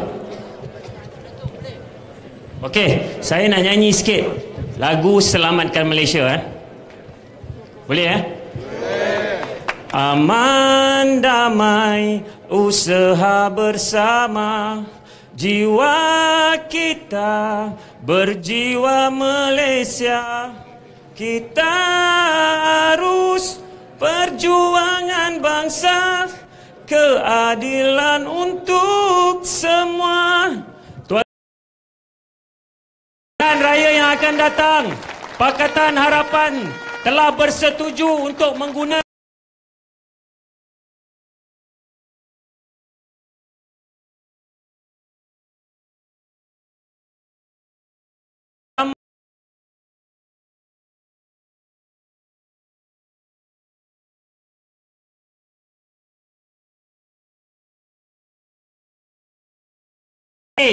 untuk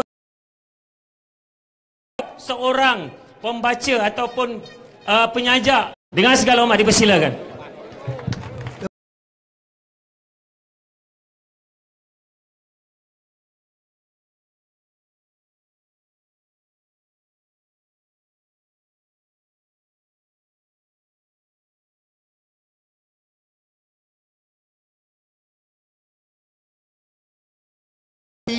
Abang adik, pak cik, mak cik,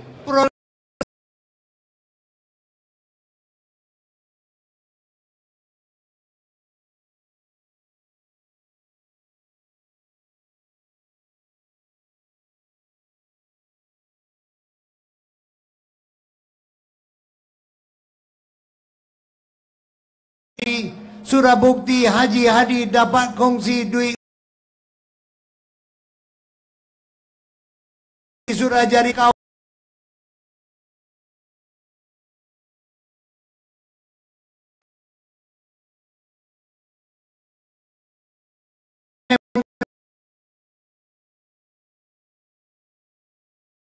masuk akaun Perdana Menteri Surah bukti pencuri itu ialah Perdana Menteri mereka tak berani semak akaun Perdana Menteri. Semua penjaga dan rakyat pun kena GST. Satu-satunya yang akan disumbat ke dalam penjara ialah YB Rafizi sebab bongkar isu 1MDB.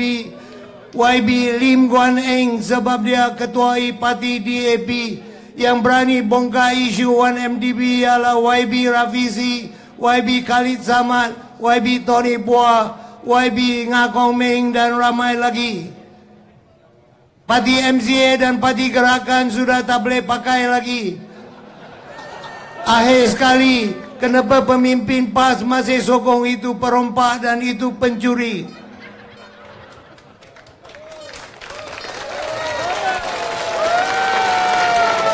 Daulat tuanku, daulat tuanku, ribuan ampun tuanku, tuanku. Pati mohon pertolongan tuanku, tuanku. Bebaskanlah pemimpin kami melalui tuanku, tuanku. Pakar pembohong Syafi Abdullah memutar hujah satu demi satu. Tuanku, lima hakim jatuh hukum lima tahun penjara langsung tak ikut undang-undang dari buku. Najib penjarakan Datuk Seri Anwar Najib sengaja buat bisu dan buat tak tahu. Tuanku, kenapa polis tidak mau siasat siapa VVIP yang mengarah bunuh Altan Tuya Syaribu? Tuanku kami mohon bebaskanlah pemimpin kami melalui Tuanku. Ampun Tuanku. MO1 MO1 sudah merompak wang berbilion-bilion untuk memberi dedak MO1 sudah siap beli undi di Semenanjung, Sabah dan Sarawak. Setahun empat kali MO1 mendedah. Brim ialah satu celaka punya dedah. Saya ada satu cerita pasal dedah. Hakim-hakim kini cakap macam budak-budak. Sebab sudah makan dedah. Hakim-hakim langsung tak ada otak. Kes Altan Tuya peguam negara sembunyi dan kes ditolak. Kes Sirul ke Australia sebab pegawai immigration dedak. Pegawai immigration pun bebas tak disiasat kes Ella. Orang baik makan sayur kari nasi lemak. Sebab surah makan dedak, depa sakit perut, susah nak berak. Mahathir nasihat rakyat jangan makan dedak. MO1 jawab, cash is king, apa pula. Tak sokong aku pun tak ada dedak. Sebenarnya MO1 ialah anak lagi Arlaya Hamtun Abdul Razak. Dulu reformasi kita semua tu hati, sekarang jadi YB berjuang untuk hak asasi, demokrasi, barisan tak kasih. Kami sokong pakatan mea polisi, biar makan ubi senang hati. Tengok saya gigi, saya tua sehat kuat lagi. Pakatan menang lima negeri, biar angkat balik perak satu negeri. Pemerintah pakatan beri kereta Camry, kereta Camry pun dijual Zamri. Keputusan mahkamah pun tak dipeduli. Apa akan jadi lagi? Dulu makan beras sungai petani, sekarang makan beras wangi import dari luar negeri. Dulu pakai kereta guna tangan dan kaki, sekarang pakai kereta auto jalan sendiri. Kalau bukan tsunami, YB pun tak dikenali. DN sombong kalah dan rugi, janganlah perangai supremasi.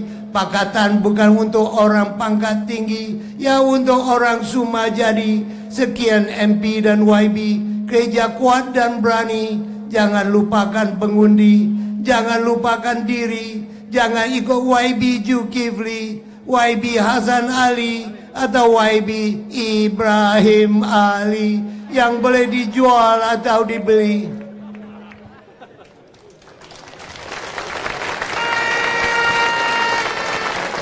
Walaupun pala sudah Najib masih tak senang hati Dipaking ganti bala jadi saksi. Risau Najib tak berhenti. Najib tengok Rosma sakit hati Puncanya Altan Tuya ditembak mati. Jangan gaduh tak berhenti-henti. Brim diberi berkali-kali. PRU 13 baru diumum ini kali. Takut pakatan diminat pengundi. BN Kala, saya Amidi Najib Rosmazu Malari, saya Amidi pingsan tak sedar diri. Sebab dia darat sakit darah tinggi. Pakatan Perintah Negara dan Negeri, rakyat gembira dan senang hati. Tiada lagi sembang-sembang di kedai-kedai kopi, kroni, rasuah, salah guna kuasa diakhiri. Malaysia makmur dunia hormati. Terima kasih. Terima kasih Uncle Su. Bagi tepukan sekali lagi. Okey, datang daripada jauh tuan-tuan daripada Parlimen Pandan, Uncle Su. Okey, saya nak share dengan tuan-tuan ya. Uh, yang terkini kita ada undi awal di N46 sebanyak 37. Undi pos sebanyak 764 bermaksud di Don Teja kita ada 801. Dan seterusnya N45 uh, Simpang Pulai kita ada undi awal sebanyak 57 dan undi pos 960 bermaksud jumlah di Simpang Pulai 1017 dan ini yang paling tuan-tuan kena dengar eh. N44 Sungai Rapat. Undi awal 884 undi pos 2028 jumlah 2912 saya total semua tuan-tuan 4,730 untuk undi awal dan undi pos. Inilah permainan SPR tuan-tuan. Sekali lagi saya ulang, kalau tuan-tuan nak pastikan calon kita menang 4-0, kita perlukan tuan-tuan di benteng terakhir sebagai kita punya pacabar. Jadi untuk itu saya menyahut sebur, uh, seruan pada tuan-tuan untuk membantu kita pastikan kemenangan 4-0. Silalah jadi daftar, uh, kita punya pacabar ataupun benteng terakhir kita. Jadi tuan-tuan, untuk itu saya ingin menjemput calon P071 saudara Dr. Lee Buncai untuk menyampaikan ucapan beliau dengan segala hormat dipersilakan. Pakatan! Pakatan! Pakatan! Terima kasih saudara Tommy.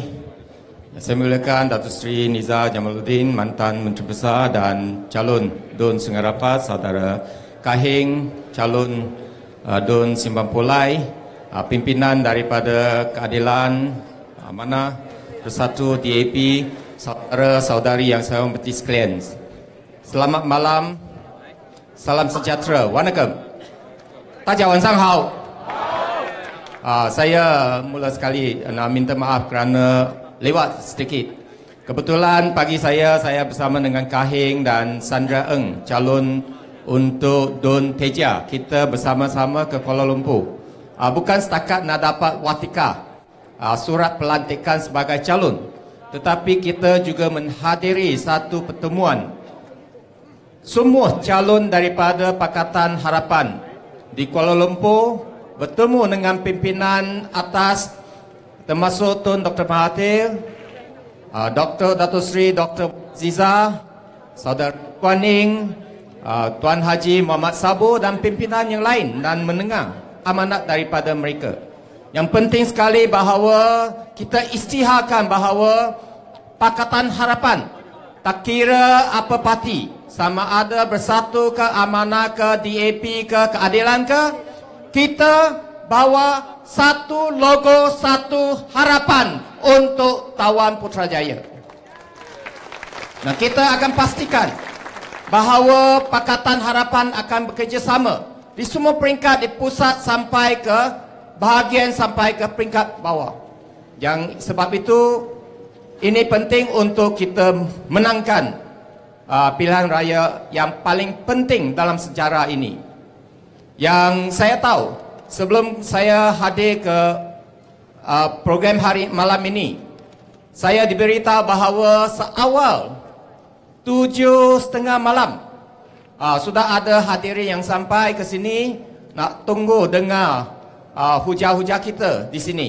Dan mereka dengan volunteer bantu kita untuk aturkan uh, kerusi-kerusi di depan ini. Beri satu tepukan kepada mereka. Inilah pahlawan, hero dalam perjuangan untuk selamatkan Malaysia. Dan satu tepukan kepada semua yang hadir pada malam ini. Kamu adalah pahlawan Malaysia. 各位亲爱的同胞，啊，今天在我们还没有到临之前，我们知道有一批的我们的啊支持者跟啊热烈的这个啊 supporter，一些可能是党员、党外人士，一大早就帮我们七点半就帮我们啊排这个椅子啊，维持这里的秩序啊，很谢谢他们。我们也知道这次的在务边国会选区一国三州里面啊，候选人的名单已经出来了啊。当然大家都知道，我会再一次的竞选务边国会选区啊，Dato Sri Niza Sungai Rapat 周一西、陈嘉信啊，这个金邦波赖周一西，还有啊思晴黄思清竞选叠加期，而对手也开盘了啊。我们知道一个是吴统的区会主席，一个是马华的啊区会主席，还有另外啊两位啊候选人。各位亲爱的同胞，两天前我在爱希丹，我看到爱希丹的节目，马华的节目啊，在那边魏家祥上台讲到很威风啊，不过他的布条就写反对剿灭，反对剿灭。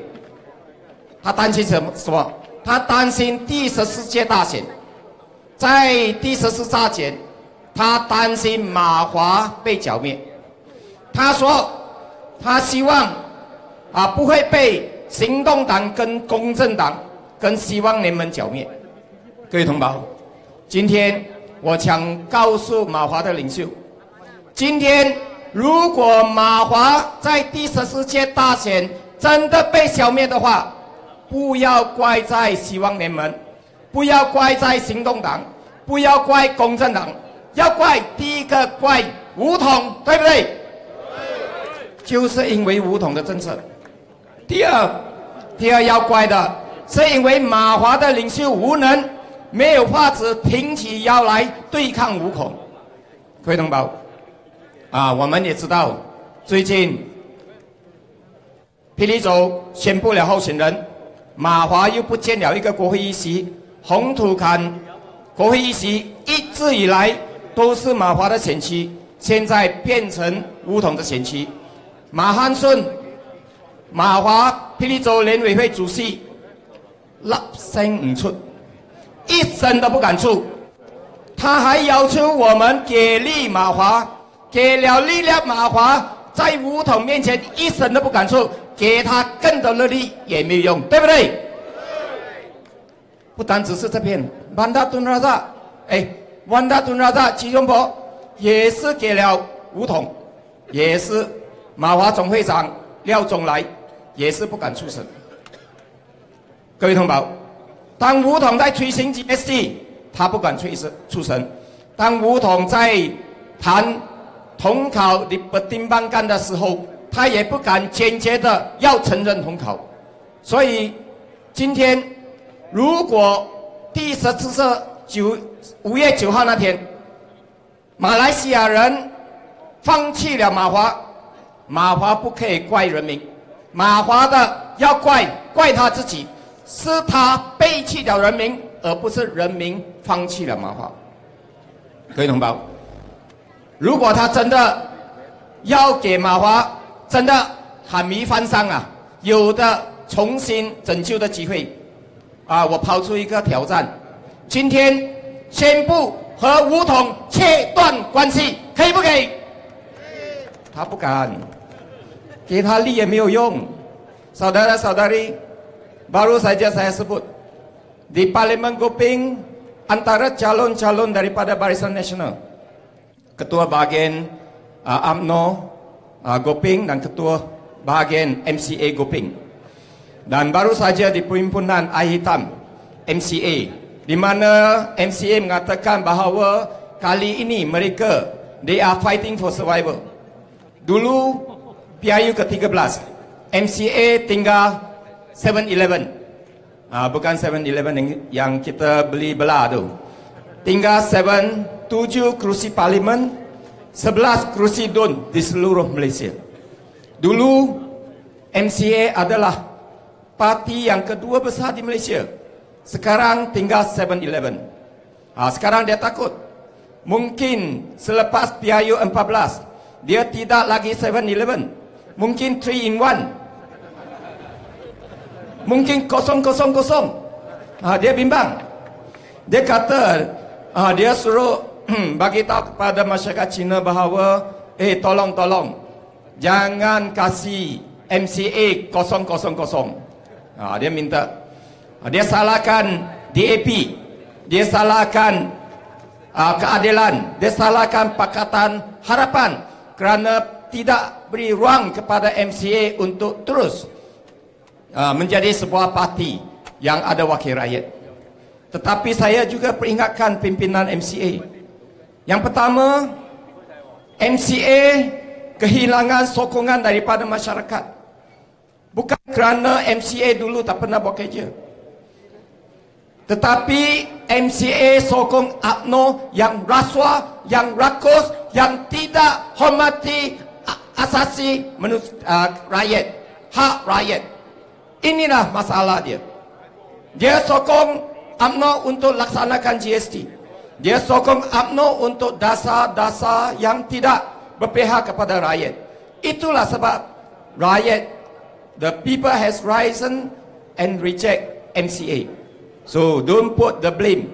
Jangan salahkan DAP, jangan salahkan keadilan pakatan ataupun salahkan rakyat. Kalau MCA ini kalah teruk kosong kosong kosong salahkan UMNO nombor satu dan salahkan pimpinan MCA sendiri yang totally incompetent. Betul tak? Tapi dia juga cakap, saya tahu propaganda dia.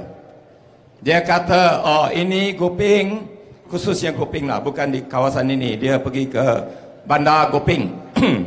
Kalau kita ada peluang ke Pekan Goping, ah, malam tu memang gelap. Tak ada pembangunan. Ah, dia kata Goping tak ada pembangunan. Sebab 10 tahun dimenang oleh Dr. Lee Bun Chai. Ah, dia salahkan saya, kerana Goping tak ada pembangunan. Tapi saya nak ulas di sini. Kalau tugas untuk membangunkan sesetiap kawasan itu tugas kerajaan yang mentadbir. Betul tak? Siapa kerajaan di Perak? Barisan Nasional. Jadi siapa kerajaan di Putrajaya? Barisan Nasional. Kalau Goping tak bangun, Bukan setakat Kuping. Kalau kita Padang Rengas, sama. Pergi Kuala Kamsa pun sama. Padang Rengas siapa ahli parlimen? Ah, Tan Sri Nazri Abdul Aziz. Siapa dia? UPNO, Barisan Nasional. Betul tak? Kuala Kangsa berpuluh-puluh tahun UPNO, Barisan Nasional. Ada pembangunan? Tak ada. You pergi Pasir Salak sama, tak ada pembangunan. Jadi kalau dia kata Goping tidak ada pembangunan, ini bermakna Zamri Abdul Kadir tidak jalan tugas dia sebagai Menteri Besar. Betul tak? Kalau dia cakap macam itu, itu juga bermakna Najib Tun Razak is not doing his work. Mahan Sun as a exco also not doing his work. Betul tak? Uh, tapi kita lihat, kita pergi ke negeri-negeri yang pesat membangun dalam 10 tahun ini. Kalau kita lihat, yang paling pesat membangun di seluruh Malaysia, Pulau Pinang, Selangor. Betul tak? Siapa Ketua Menteri Pulau Pinang? Oh, tak tahu. Ah, ya. Jawapan betul. Lim Guan Eng. Lim Guan Eng dari Pakatan Harapan. Siapa Menteri Besar Selangor? Asmin Ali. Dari Pakatan Harapan. Jadi inilah kita boleh menunjukkan bahawa di negeri-negeri yang ditapik oleh Pakatan Harapan pembangunan best number one number two betul tak? Ah, pasti apabila kita ambil alih Putrajaya ke negeri Perak, pasti kita boleh membangunkan Perak Putra, dan Malaysia jauh lebih baik daripada Barisan Nasional. Dulu, semasa Datuk Seri Niza jadi Menteri Besar, saya ada pengalaman. Masa itu ada walaupun dalam masa yang singkat kita nak bantu rakyat. Di Taman Raya Mesra kawasan saya bawa saudara Chang Li Kang Adun Teja dulu.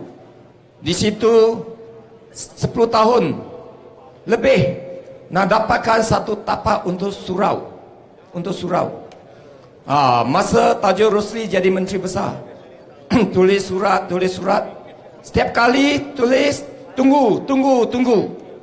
Tunggu puluhan tahun tak lulus.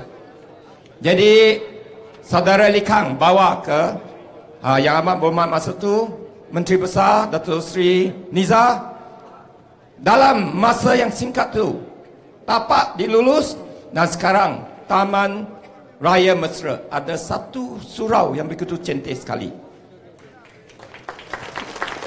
Dulu Semasa Datuk Seri Niza kita ada pemilihan kampung, ketua kampung. Di seluruh negeri Perak 800 lebih ketua kampung yang dipilih oleh penduduk-penduduk di kampung. Sebaik saja AMNO ambil alih ketua kampung semua ketua cawangan AMNO yang tak buat kerja. Betul tak? Dulu di kampung tersusun di estate di kampung baru ada kekakaran. Agak grant kekal. Jadi, sebaik saja rampasan kuasa, all the grant kekal semua tidak diberikan. So, sebab itu kita lihat, kalau pemimpin itu baik, pemimpin jaga nasib rakyat, negeri boleh membangun. Seperti yang berlaku di Pulau Pinang dan Selangor. Saudara-saudari kita juga tahu dia akan guna isu gunakan duit beras, minyak, bicycle, TV. Tapi saya juga tahu sekarang rakyat sudah cerdik. Kalau dia bagi 100 ringgit, ambil tak? Ambil, betul. Ha, semua cerdik sekarang. Dia bagi 100, minta 200. Betul tak? Ha, semua sudah cerdik. Tak payah belajar lagi. Ha? Jadi dia kasih 100, minta 200. Tapi undi, undi pakatan. Ha, jadi semua sudah pandai. Jadi sebab tadi Uncle Su bila dia berpantun, semua isu dia sudah cover dari 1MDB, dari Atantu Ya, uh, dari semua. Tapi saya cuma nak cakap sedikit saja.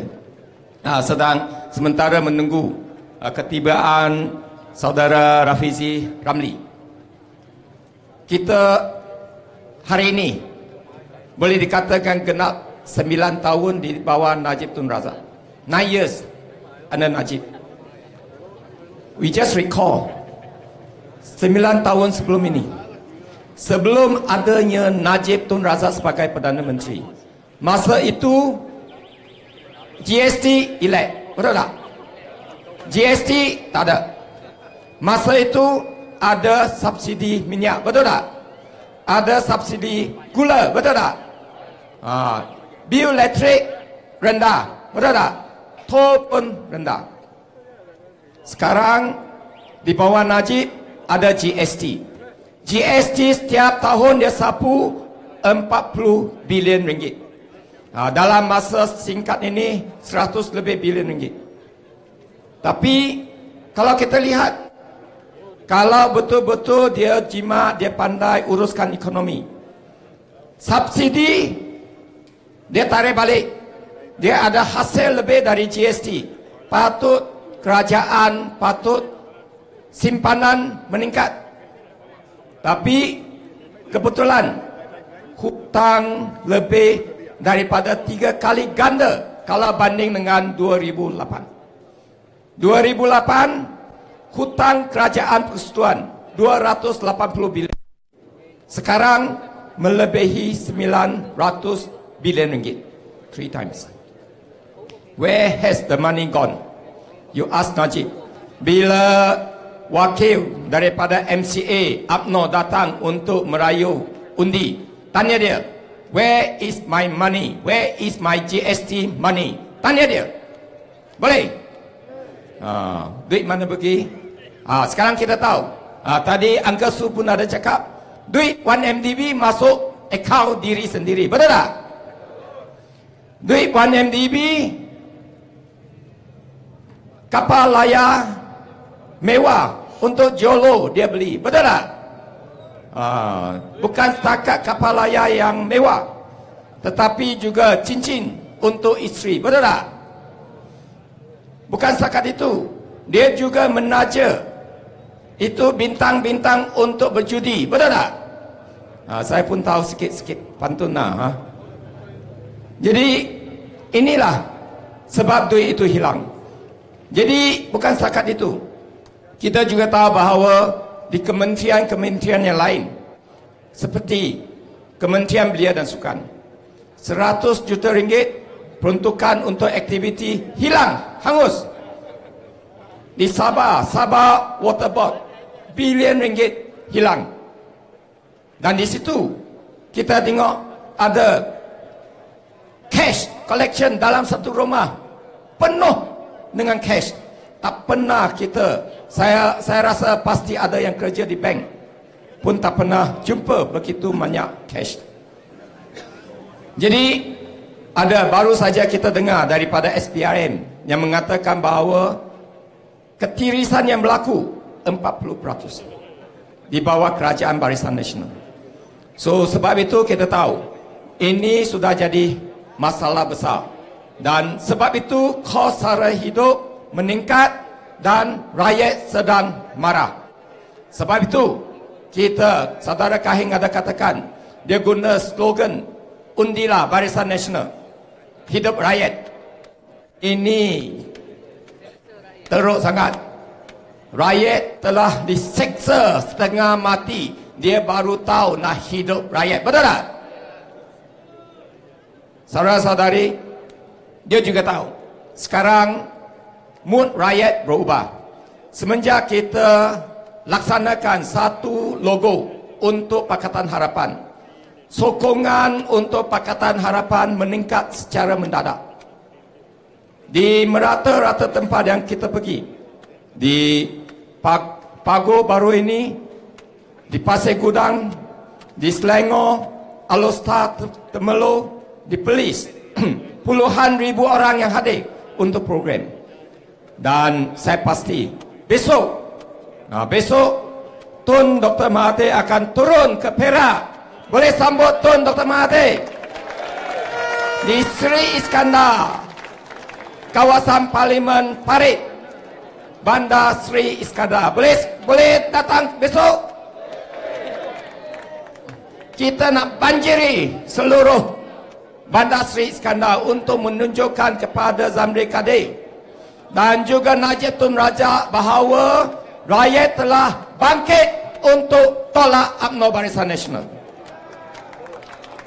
Baru saja semalam Sinarai Calon Johor untuk UMNO Barisan Nasional diumumkan. Ha, antara sinarai calon ada seorang digugurkan. Ha, nama dia Dr. Fuad Zarkashi. Ha, saya sebut nama ini. Ini nama ini istimewa untuk saya. Sebab Dr. Fuad Zarkashi sekarang dia adalah uh, pengurusi jasa JASA. Pengurusi jasa. Sebuah badan propaganda untuk UMNO. Dia juga mantan timbalan Menteri Pendidikan dan mantan ahli parlimen Watu Pahat yang kalah dalam PRU ke-13. Tetapi yang penting sekali dia untuk saya semasa kita belajar di Universiti Malaya.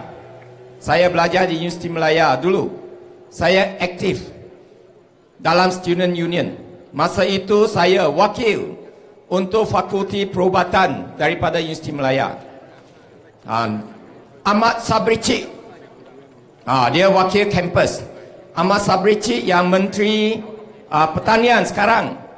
Uh, dia Presiden PMUM masa itu. Saya ahli majlis. Dan masa itu Setiausaha Agong. Masa itu Dr. Uh, itu Fuad Jakasi. Uh, ini yang yang yang ugut sekarang ini. Antara semasa itu PMUM termasuk juga Datuk Husam Musa yang sekarang bersama dengan Amanah. Jadi Fuad Zakasi ini dia tercicir daripada sinarai sinarai calon untuk UMNO Barisan Nasional untuk Parlimen Batu Pahat. Ha, saya sebut ini kerana hari ini Timbalan Perdana Menteri Zahid Zahid Hamidi telah uh, beri amaran kepada Fuad Zakashi bahawa you jangan buat bising dia kata sekarang senario sudah berubah. Dia kata oleh kerana sokongan landscape politik telah berubah di seluruh negara khususnya di negeri Johor. Nah ini pertama. Yang kedua dia juga kata bahawa kemerosotan dari segi sokongan terhadap Barisan Nasional telah merosot terhakis begitu ketara sekali khususnya di Johor dan di Batu Pahat sebab itu dia tidak calonkan Fuad Jakasi sebagai calon ini satu pengakuan bahawa UMNO Barisan Nasional juga sedar bahawa memang ada kebangkitan rakyat dan tsunami rakyat.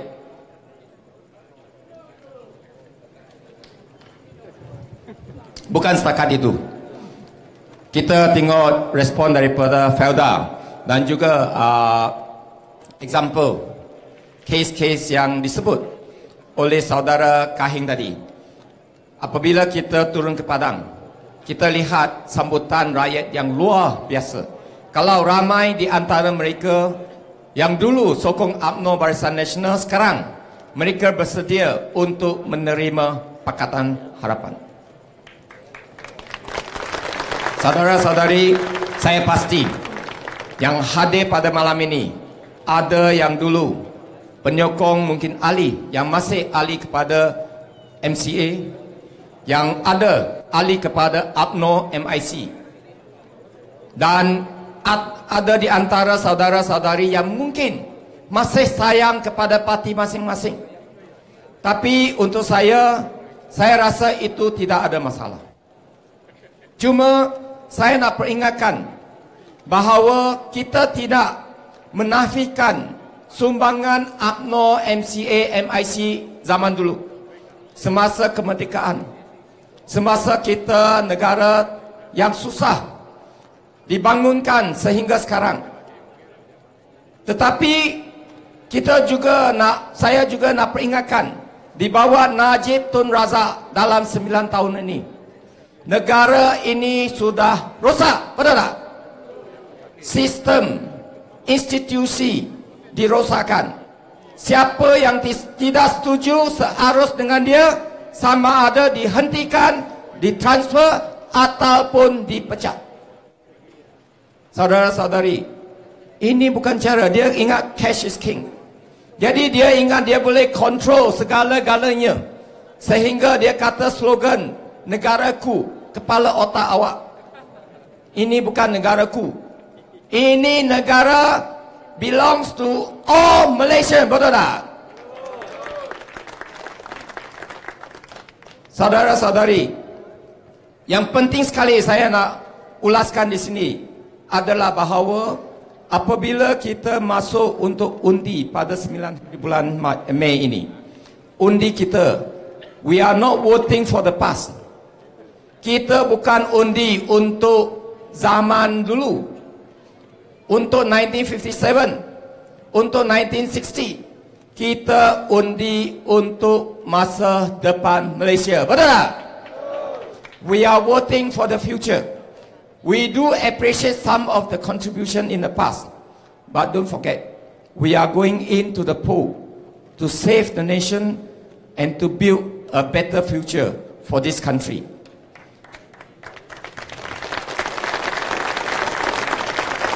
Saudara-saudari, kita dengar banyak hujah daripada mereka. Dia kata manifesto Barisan Nasional disanjung tinggi oleh Bank Dunia. Kononnya, dia kata begitu baik sekali. Memang tinggi. Harga barang tinggi, betul tak? GST tinggi, tol tinggi, elektrik tinggi, harga gula tinggi. Rasuah pun tinggi, betul tak? Ha, dia kata rakyat harus pilih biru tua, bukan setakat biru, biru tua. Sebab dia tak mau rakyat pilih biru muda. Dia juga mengatakan bahawa ini biru muda, tak ada guna kerana dipimpin oleh orang tua. Ah, kononnya Dr. Mahathir. Cuma saya nak beritahu kepada mereka, khususnya pimpinan UMNO Barisan Nasional. You mungkin lebih muda daripada Tun Dr. Mahathir. Tetapi apa guna bila you muda tetapi membisu apabila ada salah laku, ada ke- kelakuan yang rasuah, yang tidak betul yang dilakukan oleh Najib, betul tak? Kalau you betul muda, apa guna? Kalau pekat kepada semua jeretan kesusahan daripada rakyat. What point have you got if you think you are not that old but you cannot even hear suffering from the rakyat? Kalau you kata you muda tapi you cannot see the suffering on the ground. No point. Saudara-saudari, sebab itu dia juga saya kadang-kala saya baca utusan. Bukan saya nak percaya kepada utusan. I don't encourage you to read. Tapi saya baca utusan untuk cuba memahami apakah isu-isu yang dibangkit. Tiap-tiap hari, setiap muka surat dia bantai Tun Dr. Mahathir. Dulu kata Tun Dr. Mahathir pakai U-turn. Betul tak? Tapi kita juga tahu Dulu kita tahu semasa Tun Dr. Mahathir jadi Perdana Menteri ada kesilapan. That one we admit. Dulu saya pun kritik Dr. Mahathir. Saya bantai Mahathir habis-habisan dulu. No regret about that. You have done wrong, I will criticize, no regret. Tapi sekarang Mahathir telah memilih jalan yang baik. Jalan yang betul. Patut tak kita sokong mati? Betul tak? Misalnya, tadi saya datang daripada Kuala Lumpur, nak datang ke sini. Tiba-tiba sampai sampai ke Bido. Ah, salah jalan masuk sampai ke Teluk Intan. Bila sampai Teluk Intan, tapi saya kata pemandu saya, Kahing, eh kita nak pergi ke Kuala eh, ke Ipoh, bukan ke Teluk Intan. You U-turn tak? Pastilah U-turn. You bodoh kalau tak U-turn betul tak? Ha, kalau ada kesilapan, U-turn. Pilih apa yang betul, apa yang baik. Betul tak? So, there should not be any issue. So, hari ini, kita juga tahu, ini calon MCA. Dia banyak rajin dia jalan, dia cakap dulu, ha, ini sebenarnya saya tak mau sebut. Tapi sementara tunggu doktor, uh, tunggu Rafizi, saya sebut sedikit. Dulu dia kata, tiga bulan lepas, dia kata 10 tahun kawasan Parlimen Goping di bawah pembangkang untuk Parlimen Goping. Peruntukan sebanyak 69 juta ringgit hilang. 69 million allocation for Goping gone missing. Ha, saya nak cabarkan dia ulangkan selepas dia jadi calon. Sebab saya tahu, saya tanya Najib di Parlimen sebagai Menteri Kewangan dan Perdana Menteri. Saya tanya Najib selama 10 tahun ini 2008 hingga 2017 peruntukan daripada Jabatan Perdana Menteri untuk kawasan Parlimen Goping berapa banyak?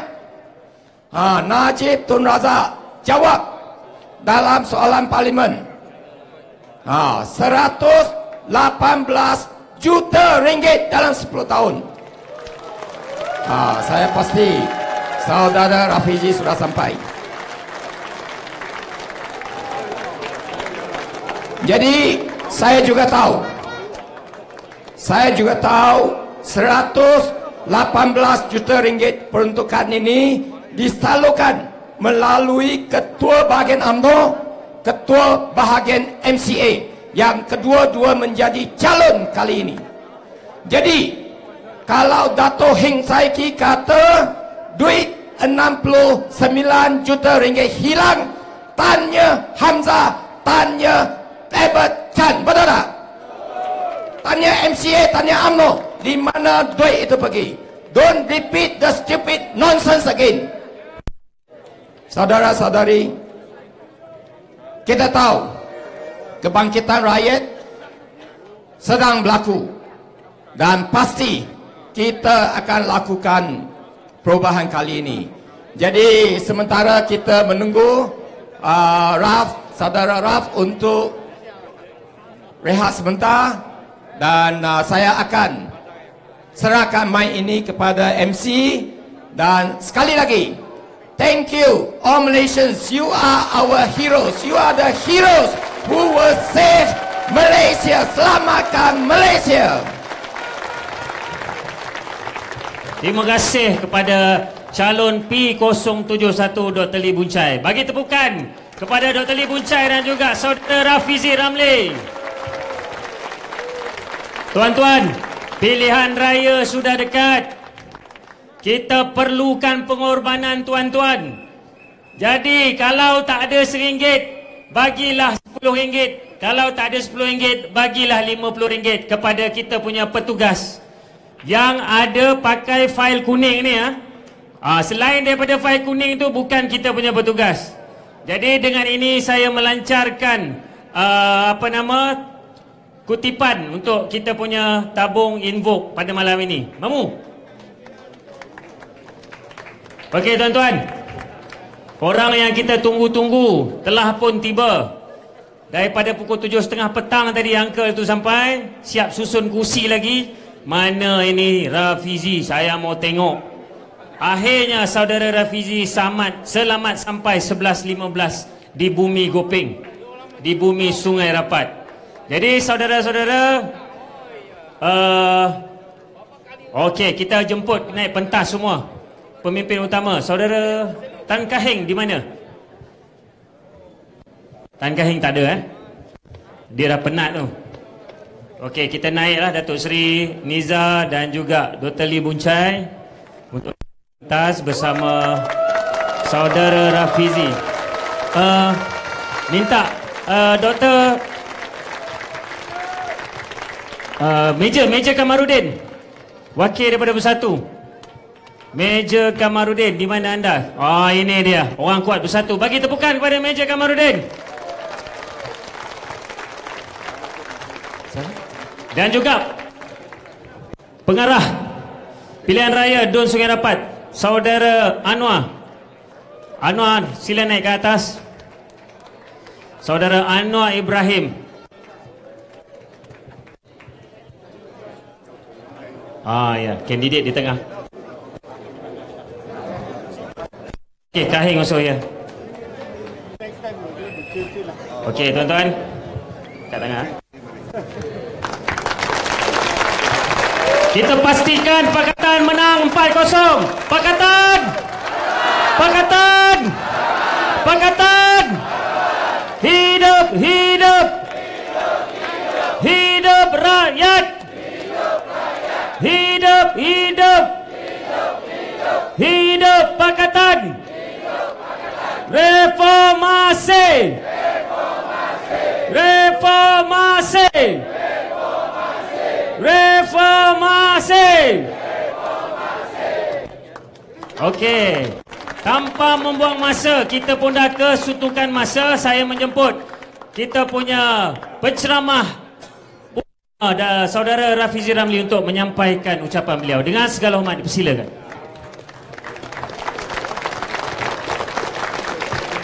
Assalamualaikum warahmatullahi wabarakatuh.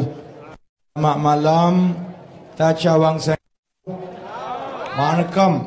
Salam sejahtera. Alhamdulillahi rabbil alamin. Wassalatu wassalamu ala ashrafil anbiya wal mursalin wa ala alihi wa sahbihi ajma'in. Rabbi shrah li sadri wa yassir li amri wahlul 'uqdatam min lisani yafqahu qawli. Saudara pengusi majlis serta mizi yang kita raikan pada malam ini dia macam pengantin barulah malam ini ya. yang berhormat insyaallah Dr. Lee Buncai calon Pakatan Harapan di Parlimen Gopeng. Yang berhormat Datuk Seri Insignio Tuan Haji Niza calon Pakatan Harapan di Sungai Rapat. Yang berhormat Saudara Tan Kahing Mana Kahing pergi dah ada Kahing Calon Pakatan Harapan di Dun Simpang Pulai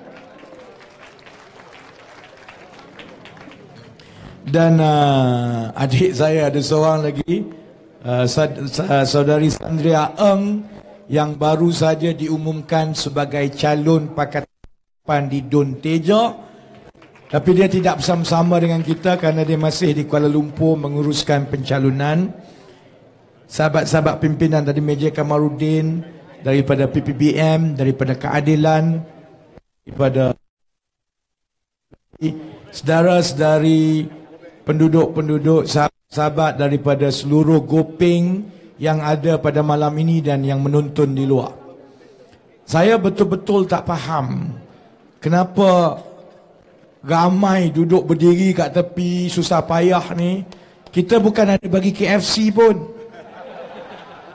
Kecuali Li Buncai ada. Saya tak tahulah takut Li Buncai ada janji. Ada janji bagi KFC lepas ni.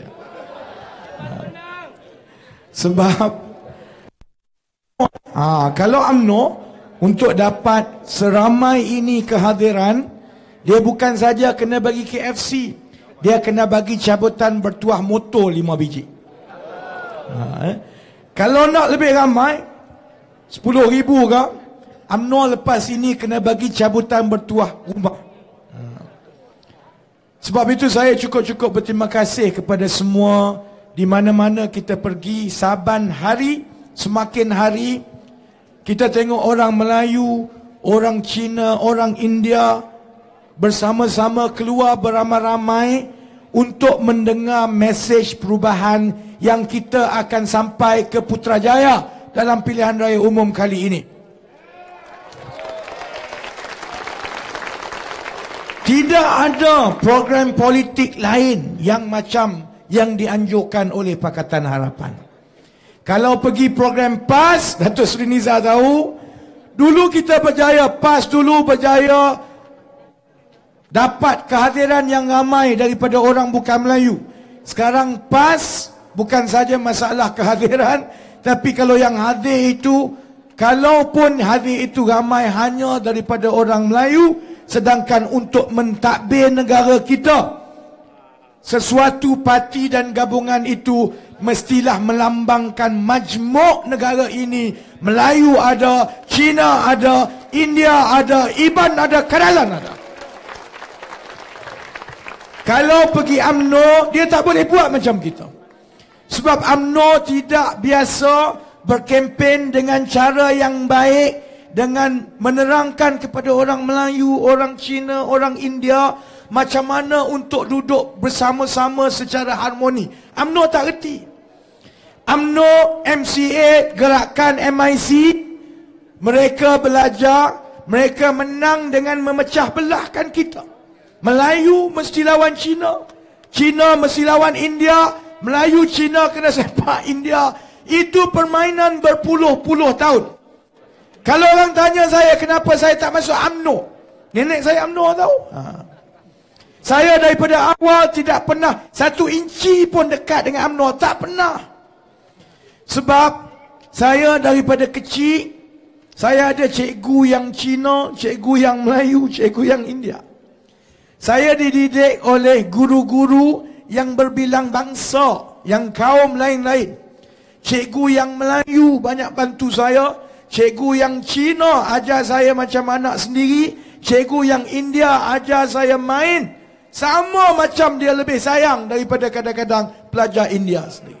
Saya belajar daripada kecil lagi bahawa tidak ada beza antara kita Melayu, Cina, India dalam negara kini kita semua rakyat Malaysia.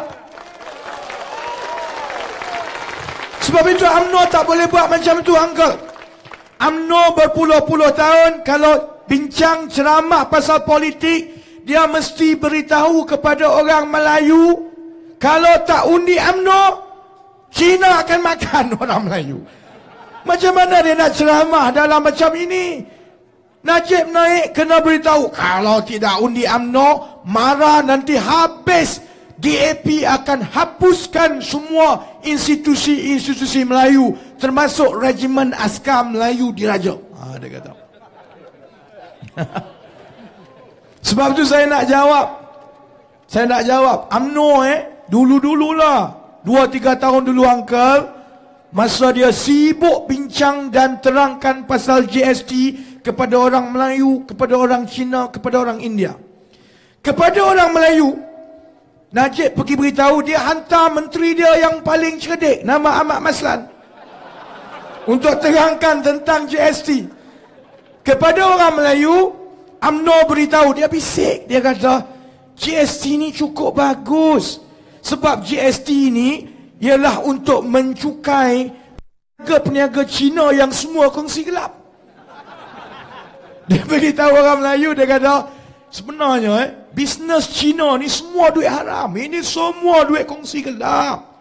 Kongsi gelap ni dia tak bayar cukai. Saya pun tak tahu macam mana kongsi gelap tak bayar cukai. Ya. Tapi dia beritahu orang Melayu kongsi gelap tak bayar cukai.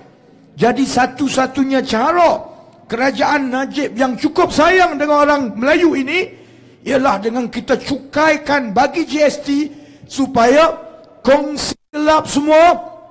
Semua orang Cina bisnes dia lepas ini mampus. Sebab kongsi gelap pun sudah kena bayar GST dia tak beritahu yang ramainya orang Melayu bukan orang Cina.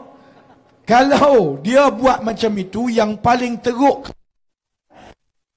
Melayu bukan orang Cina. Dia nak cukai orang Melayu nak kutip lebih tapi UMNO tak boleh teruk dalam bahasa yang benar-benar meyakinkan. Dia mesti guna bahasa perkauman. Orang Melayu dia kata ini sebenarnya untuk cukai kongsi gelap Cina. Ha. MCA pergi cakap dengan orang Cina. Dia tak cakap dengan Melayu dia cakap dengan Cina saja. Panggil orang Cina semua. Dia cakap ha, ini GST cukup bagus oh sebab orang Melayu memang tak ada guna punya Bertahun-tahun lah orang Melayu mana ada bayar cukai? Semua orang Cina saja bayar cukai. Kita bayar cukai, ambil duit kita, kita tanggung orang Melayu bayar cukai. Dia kata. Jadi sekarang ini padan muka orang Cina, orang Melayu. Bagus punya Datuk Seri Najib, kutip GST, padan muka orang Melayu. Baik. Orang Melayu dengar, orang Cina dengar, orang India dengar, orang Melayu, orang Cina, orang India semua tahu. Ini bukan sebab soal Najib nak tutup kongsi gelap Cina ke. Itu soal perkauman yang dia cuba nak racun orang Melayu. Orang Cina tahu. Ini tak ada kena-mengena dengan nak kutip duit dengan orang Melayu yang tak bayar cukai ni. Ini semua berpunca daripada kita ada Perdana Menteri yang curi duit. Duit hilang bawah dia. Bila negara tak ada duit, dia terpaksa kutip daripada orang Melayu, orang Cina, orang India sebab dia kena tanggung hutang yang paling besar sekali dalam sejarah negara kita. Sebab itu, saya beritahu kepada uncle auntie, ya, mamai juga yang bukan Melayu malam ini, saya tahu kebimbangan. Saya pergi mana-mana Datuk Seri, kadang-kadang kawan-kawan Cina, Melayu pun ada, India beritahu, dia kata, YB kesian you, you naik lori ni masuk kampung semua. Sampai ada video naik Vespa aku pasal lori dia pasal. Dia kata YB sudah satu tahun lah you masuk ah, kampung, kampung, kampung ah. You tak takut ke? Orang Melayu macam itu. Masa sebelum pilihan raya semua datang ramai-ramai. Dulu masa Anwar macam itu juga. Sebelum pilihan raya ada puluh-puluh ribu orang datang dengan Anwar. Kita sokong PAS, kita sokong PKR, sokong DAP. Lepas undi pilihan raya, tengok orang Melayu tetap takut sebab UMNO kata undi Pakatan Harapan DAP menang Lim Kit Siang jadi Perdana Menteri. Jadi orang Melayu takut. Jadi ada kawan-kawan saya kata YB you buat kerja gila sia-sia lah. You akan masuk penjara. Orang AMNO, orang Melayu akan tetap sokong Najib. Baik, yang saya nak jawab macam ini Uncle nanti. Saya orang kampung. Mak ayah saya study darjah 6, sekolah darjah 6. Habis darjah 6 Datuk Seri, tak belajar. Saya orang kampung, siapa kata orang Melayu kampung tak boleh beza Perdana Menteri yang mencuri dengan Perdana Menteri Orang Melayu boleh nampak. Siapa kata orang Melayu tak boleh bezakan hidup 6-7 tahun dahulu sebelum Wah jadi teruk dulu dan sekarang. Orang Melayu ingat, orang Cina ingat, orang India pun ingat. Sebelum Najib jadi Perdana Menteri, Gula harga satu kilo dua ringgit. Ingat tak? Sekarang gula berapa? Tiga ringgit.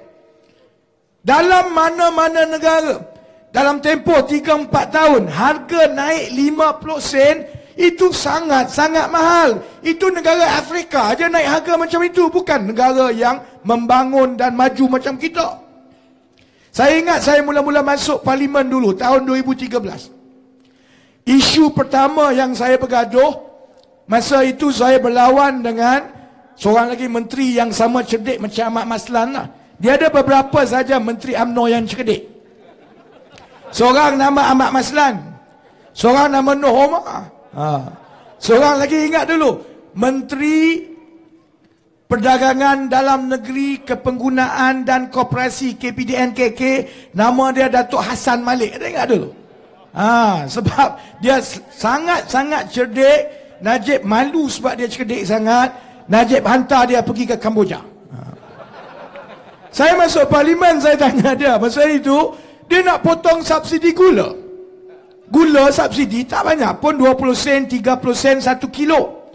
Dia pun nak potong subsidi gula, dia bentang. Dia beritahu, saya tanya, 20 sen pun you nak berkira ke? subsidi makanan ini kena berhati-hati. You potong subsidi makanan, nanti itu akan ada kesan kepada peniaga. Kita yang tidak buat perusahaan makanan, memanglah gula sekilo satu minggu mungkin kita makan dua. Tapi yang buat biskut, yang buat roti, yang buat perusahaan makanan, yang membekalkan makanan ini, dia sekali beli gula beribu-ribu kilo. Menghapuskan subsidi gula kalau tidak berhati-hati ada kesan yang mendadak kepada harga makanan saya beritahu.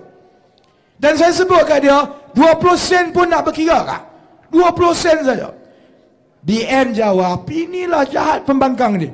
Ini mengajar rakyat Malaysia supaya bergantung kepada kerajaan menjadikan pekerja dan rakyat kita kalau dia kata Sudahlah kerajaan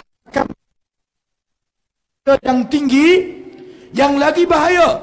Harga murah akan menyebabkan rakyat Malaysia ketagih gula. Kalau banyak nanti jadi gemuk saya jawab tu tengok Rosmah tak makan gula gemuk juga dia tak dengar tahun 2013 dia potong subsidi gula. Pakcik-makcik ingat, uncle auntie. You tak ingat ke? You potong subsidi gula 20 sen dengan rakyat biasa you berkira sedangkan you belanja puluh-puluh bilion untuk diri sendiri. Kemudian tahun 2014 dia potong subsidi minyak masak. Kita negara kelapa sawit terbesar di dunia. Bila sampai ke minyak, kita tanya, uh, Datuk Seri Najib, kenapa harga minyak di Arab Saudi dan lain-lain itu murah? Dia kata sebab Arab Saudi merupakan pengeluar minyak yang terbesar. Dia banyak minyak sebab itu minyak dia murah. Kalau minyak kereta, minyak petrol diesel, dia bagi Arab negara merupakan pengeluar minyak yang besar, maka dia boleh bagi subsidi dan harga minyak murah sebab minyak banyak. Saya saya tanya dia, habis kelapa sawit kenapa pula? Kita pengeluar kelapa sawit nombor satu dalam dunia. Tak ada negara boleh lawan kita yang ladang-ladang dekat Filip dekat Indonesia itu pun banyak kita punya. Dah kalau kita negara pengeluar kelapa sawit nombor satu di dunia, kenapa pula harga kelapa sawit, minyak kelapa sawit di Malaysia ni mahal. Sampai dalam satu minggu dia hapuskan subsidi. Harga minyak satu tin yang satu botol yang lima kilo tu boleh naik 16 17 ringgit jadi 28 ringgit 26 ringgit. Dia tak boleh jawab. Sama juga dengan gandum. Saya tanya you berkira gandum subsidi 2% 5% satu kilo? You berkira? Tahun 2015 dia hapuskan subsidi gandum. Sebab Najib kata subsidi ini tak baik. Subsidi gandum. Sebelum ini kita beli gandum. Memanglah kita tak ada subsidi sebab kita beli satu kilo, satu kilo, satu kilo. Orang yang buat roti, buat kuih, buat makanan, restoran, roti canai. Dia bukan beli satu kilo, satu kilo, satu kilo. Dia beli satu guni. Satu guni sekali dia beli 20 kilo. Bila Najib hapus hapuskan subsidi gandum. Sebab dia nak jimat tak banyak pun. Jimat 100 juta dekat sana 200 juta dekat sini. Bila dia sudah hapuskan harga subsidi gandum sudah tentu harga gandum naik. Bila harga gandum naik orang yang buat makanan buat roti buat biskut buat kuih maka kos dia lagi tinggi. Mana ada orang dalam dunia ini nak bisnes rugi? Ada tak Ha, itu trick question. Ada. Ada orang dalam dunia ni, dia buat bisnes memang dia nak rugi. Nama dia 1MDB dengan Jolo. Ha, ada trick.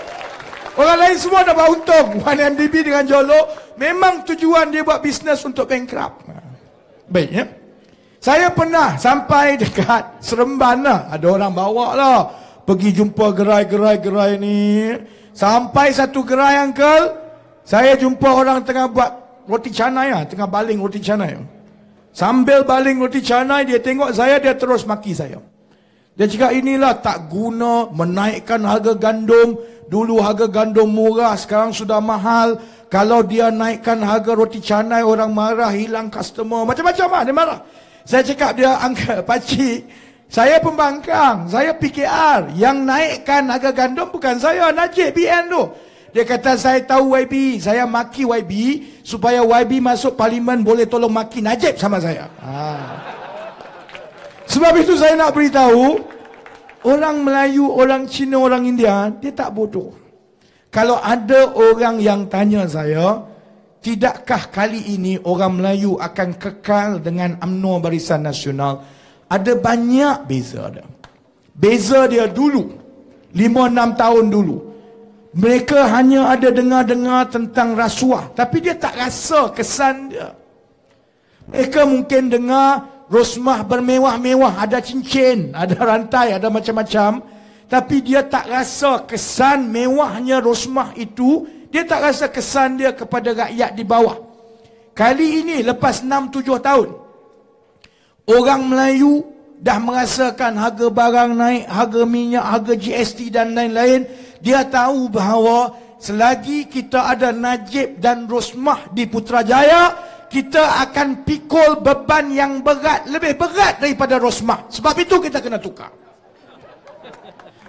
Ada wartawan tak tak percaya dengan saya. Dia kata, dia tanya saya lah, dia kata, hanya di Malaysia yang bila kerajaan melaksanakan GST, ia mendatangkan kemarahan yang besar dengan rakyat. Dia kata, Kenapa bila buat di Singapura tak jadi isu? Buat di Australia tak jadi isu. Saya beritahu dia. Mana ada di negara lain buat GST dia menghapuskan peruntukan rakyat secara berturut-turut. Mula potong subsidi makanan, kemudian subsidi minyak masak, kemudian harga minyak naik tiap-tiap minggu, kemudian buat GST. Jadi dalam keadaan semua ini berlaku secara berturut-turut, sebab itu kesan dia kepada harga barang dan kesan dia kepada wang lebih dalam poket rakyat itu cukup-cukup besar. Singapura bila dia nak buat GST, Dia pastikan gaji semua okey, harga barang dia jaga, kemudian dia buat 3%. Kemudian baru dia naik sikit, sikit, sikit. Lepas 30 tahun, baru naik 7 ke 8% sekarang Singapura. Kita mula 6%, tapi sebelum itu potong, potong, potong, potong, potong. Sebab itu pelaksanaan GST jadi beban yang cukup besar kepada rakyat. Jadi wartawan tanya saya lagi, ini bukan ini bukan wartawan TV3 lah, ini wartawan luar negara ni. Dia datang tanya saya lagi, dia kata, takkan Najib tak faham? Najib mesti tahu bahawa bila dia potong subsidi, dia naikkan harga minyak, dia kenakan GST, ini ada kesan yang berganda kepada rakyat. Baik. Yang ini yang saya nak yakinkan sahabat-sahabat yang Melayu, yang Cina, yang India, yang ada di Gopeng, yang sedang menonton di luar. Satu benda yang mungkin kita tidak faham. Saya beritahu kepada wartawan-wartawan.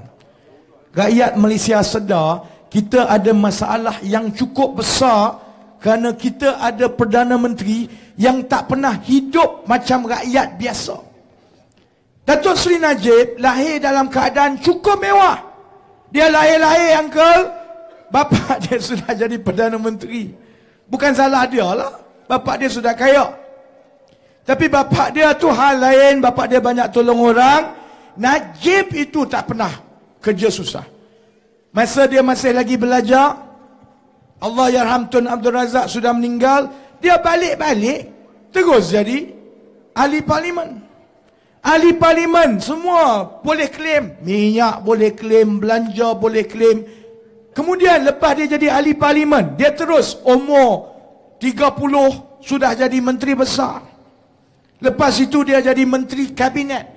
Lepas itu dia jadi menteri pertahanan. Banyak kontrak. Semua kontrak dia ambil. Yang atas dengan jet pun dapat kat dia. Yang kapal selam pun habis semua dia sapu dekat dia. Sebab itu, bila tengok balik hidup Datuk Seri Najib, ha? dia tidak pernah hidup macam kita.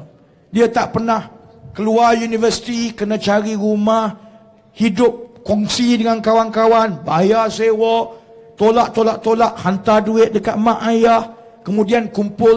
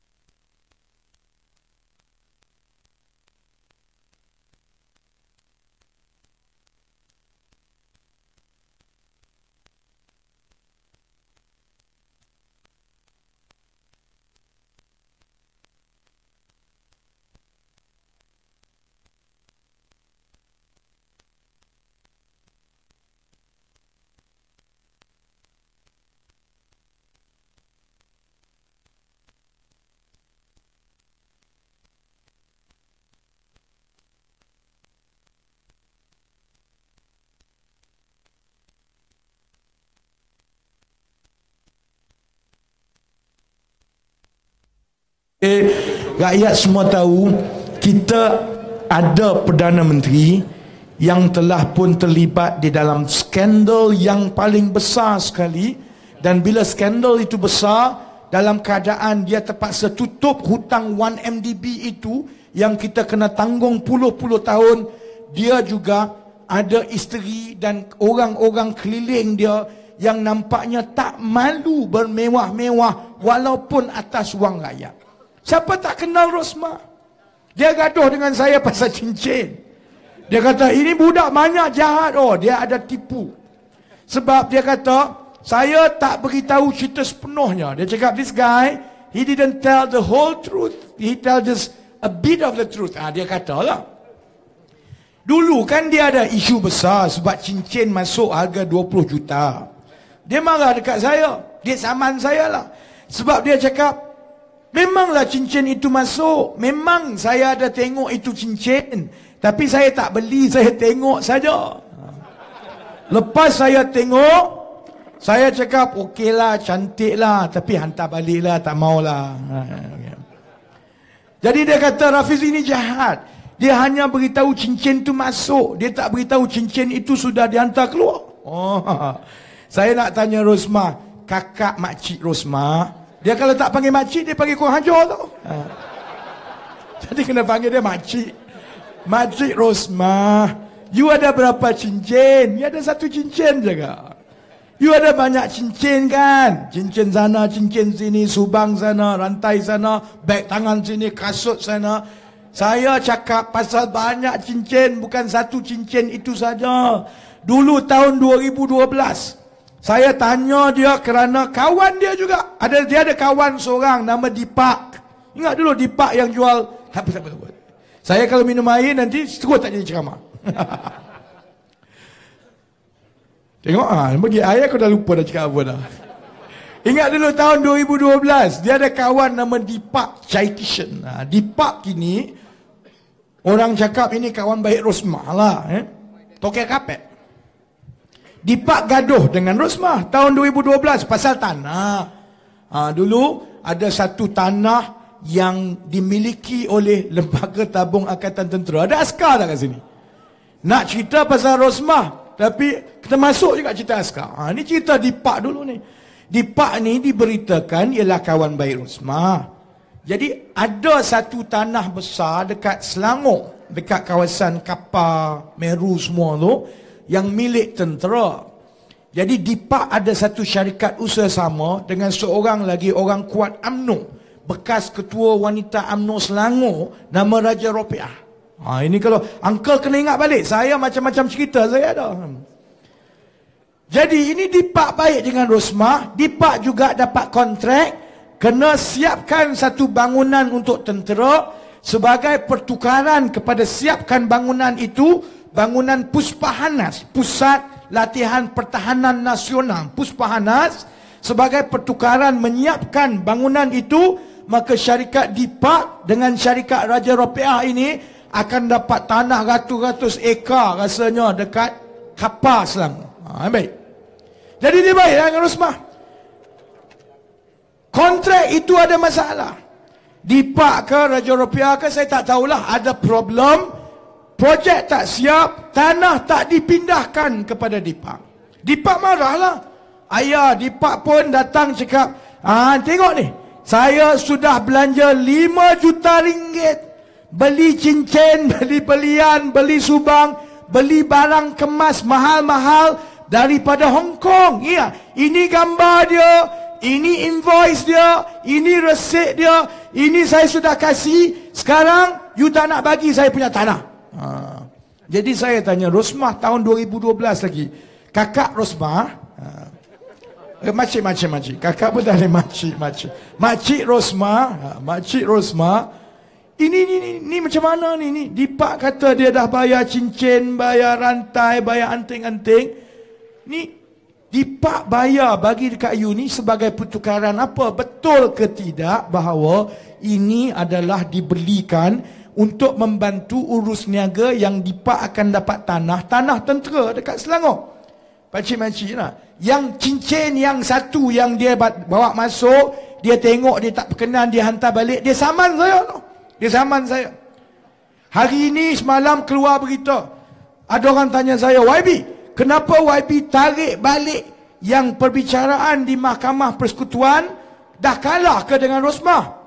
Saya kata, saya dah letih menunggu kes tu duduk bumbang-bumbang, tak bicara-bicara lagi. Saya tarik balik rayuan saya supaya kes itu boleh dipercepatkan. Saya tak sabar nak, nak tengok Rosmah dalam kandang saksi. Kita nak tanya dia pasal cincin dia.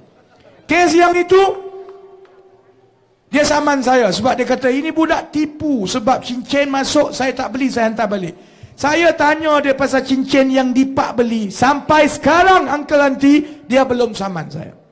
Saya juga tanya dia pasal pemata. Ada orang ingat pasal pink diamond ke? Pink diamond. Rosmah bising pasal cincin. Satu cincin saja yang dia bawa masuk, dia hantar balik. Masa Jabatan Kehakiman Amerika Syarikat saman 1MDB untuk rampas harta-harta di Amerika Syarikat sebab itu harta yang dibeli dengan menggunakan wang yang dicuri. Ha, undang-undang dekat Amerika pelik tau. Kat Malaysia tak ada. Di Amerika Syarikat, kalau kerajaan mendapati ada harta yang dibeli dengan wang curi, itu melanggar undang-undang walaupun pembelian itu dibuat secara sah. Contohnya, saya pergi Amerika beli satu bangunan. Jual beli itu adalah sah. Saya bayar duit, saya masuk agreement semua sah.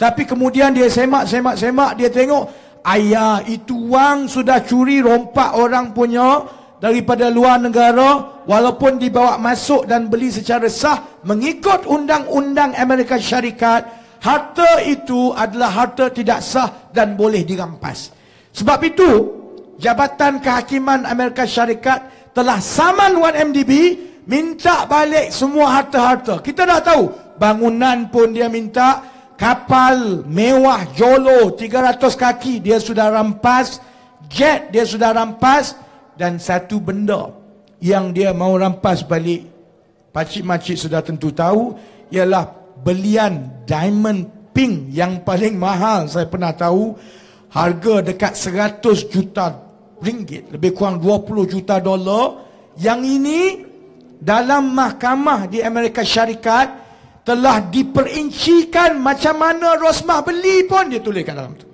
Rosmah naik kapal, duduk atas kapal mewah, kemudian tuan punya belian ini syarikat datang tunjuk kat dia, dia tengok tetapi berbeza dengan cincin yang ini dia tengok dia kata cantik aku nak. Ha.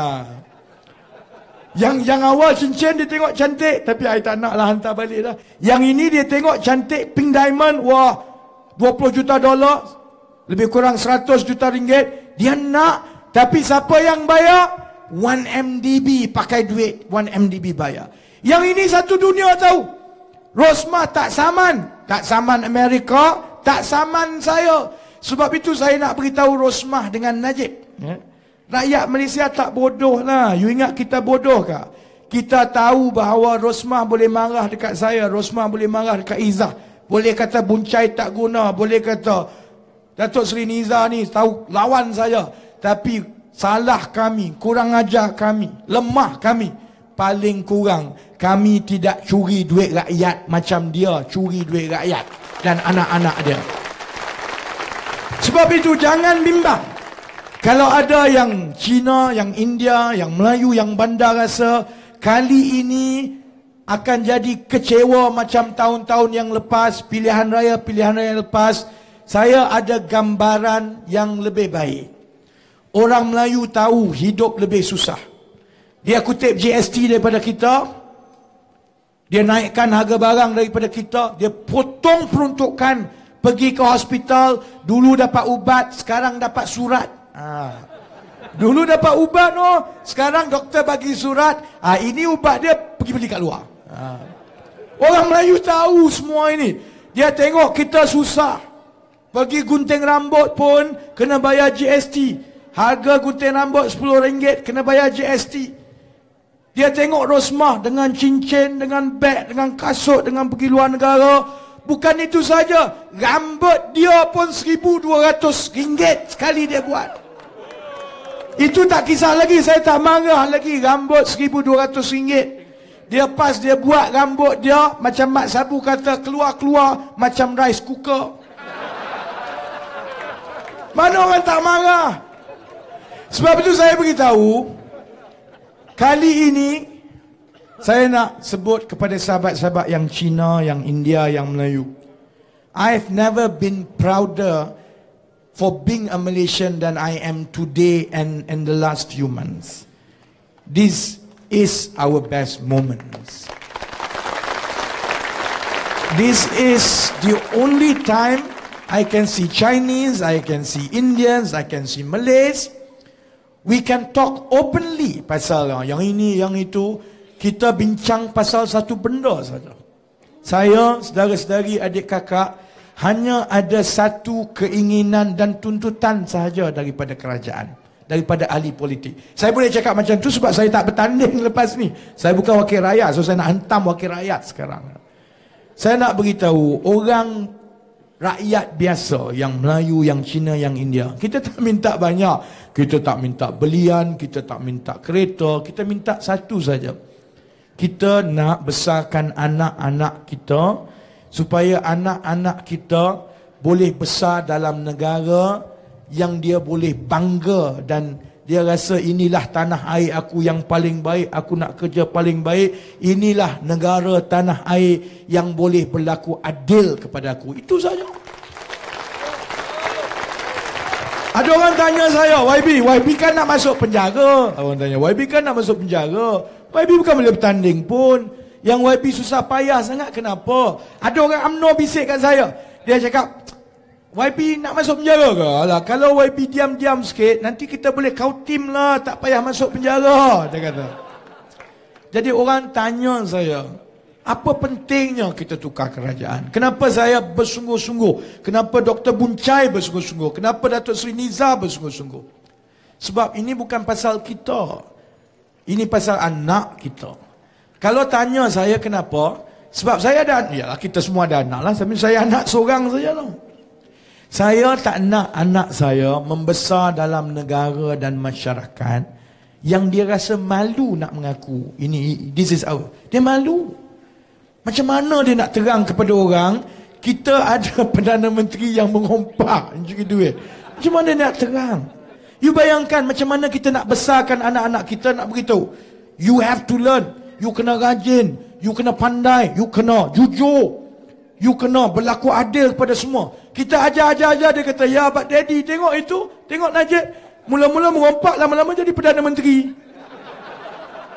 Macam mana kita nak besarkan anak-anak perempuan kita, eh, anak gadis, kita suruh dia rajin semua bersaing, you know, semua dia kata, alah apa susah-susah ya. Tengok Rosmah kahwin jadi macam tu cincin banyak juga, tak payah belajar pun. Macam mana kita nak besarkan anak kita supaya dia tak takut kepada orang lain hanya kerana warna kulit dan kepercayaan dan latar belakang yang berlainan. Takkan orang Melayu sampai bila-bila nak beritahu. Tengok Cina tu. Nanti bahaya dia, bahaya dia. Mana takkan macam tu. Kita nak anak Melayu, anak Cina, anak India faham. Yang kita perlukan ialah rajin, baik, berbudi bahasa, jujur, pandai. Jangan pandai macam Ahmad Maslan tu pandai sangat. Pandai. Kalau you rajin, you cerdik, you jujur, you amanah, you sayang dekat orang yang berbudi bahasa, itu akan membantu melahirkan setiap anak Melayu, anak Cina, anak India, anak Kadazan yang rajin dan yakin bahawa untuk dia berjaya, dia tak perlu kau tahu kepada siapa-siapa. Untuk dia berjaya, dia tak perlu curi duit, tak perlu rasuah. Dia hanya perlu jujur, perlu rajin, perlu cerdik, dan insya Allah ada anak Melayu, anak Cina, anak India yang akan berjaya dan bila dia berjaya negara kita semua akan berjaya. Saya tak boleh nak besarkan anak saya untuk ajar dia menjadi takut kepada orang lain. Saya tak boleh nak besarkan anak saya beritahu, Alah, you play safe sikit lah. Nanti kalau you sebut-sebut, you masuk penjara. Saya tak nak macam itu. Saya nak anak saya, sama juga macam saudara-saudari, uncle, auntie. Semua kita nakkan anak yang yakin, yang cerdik, yang pandai. Itu saja harta yang kita ada. Kita tak ada kapal layar. Kita tak ada berlian. Kita tak ada jet. Kita hanya ada anak dan warisan kita yang paling baik ialah anak-anak kita yang bila kita tengok kita rasa I've done my job. Saya dah besarkan anak-anak saya dengan cukup baik. Bukan saja dia berbudi kepada saya, dia juga berbudi kepada masyarakat, kepada negara dan lain-lain. Itu bukan saja kehendak kita, itu adalah tanggungjawab kita. Baik kita Melayu, baik kita Cina, baik kita India, itu tanggungjawab kita kepada negara ini. Sebab itu, saya yakin kali ini orang Melayu, orang Cina, orang India bila dia mengundi, dia takkan tengok warna parti. Dia takkan tengok warna kaum. Dia takkan kira macam mana. Dia tahu bahawa pertembungan kali ini ialah pertembungan di antara orang Melayu, orang Cina, orang India, orang Iban, orang Kadazan. Seluruh rakyat Malaysia bersatu hati dengan satu tujuan yaitu kita nak buang Najib dan Rosmah keluar daripada Putrajaya. Sebab itu saya tak bimbang. Orang UMNO, orang PAS lalu perli saya, pelekeh saya. Dia kata, alah tengok budak ni. Ini contoh apa, jangan jadi. Ini orang yang hidup dia sia-sia. Belajar pergi luar negara, kerja luar negara, kerja baik, balik gaji baik. Dia nak masuk politik, Lepas tu masuk politik cari gaduh dengan Najib. Ha, orang dia kata. Rasa nak jadi hero tengok-tengok masuk penjara. Padan muka. Orang UMNO orang pas cakap dengan saya. Ada yang kata tengok. Alah apa nak bangga sangat. Sekarang dah jadi bekas yang berhormat. Politik tak boleh masuk 10 tahun. Sekarang menganggur. Lepas ni bakal banduan. Ada yang beritahu. Saya nak jawab kepada kawan-kawan UMNO dan PAS yang perli saya macam itu. Saya nak beritahu, saya ni jangan action saya. Saya dengan Najib ni kami lebih kurang sama je. Beza tak banyak, beza paling besar bini dia Rosmah, itu saja. Sebab kalau pakcik tengok, saya kalau saya wakil, bekas wakil rakyat, Najib pun bekas wakil rakyat. Sekarang mana ada parlimen? Kalau saya menganggur, Najib pun menganggur.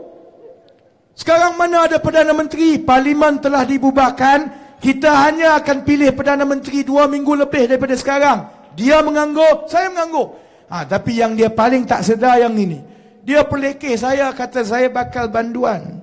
Dia tak sedar bila kita menang 9 Mei nanti, yang bakal jadi banduan bukan saya. Yang bakal jadi banduan ialah Najib dengan Rosma.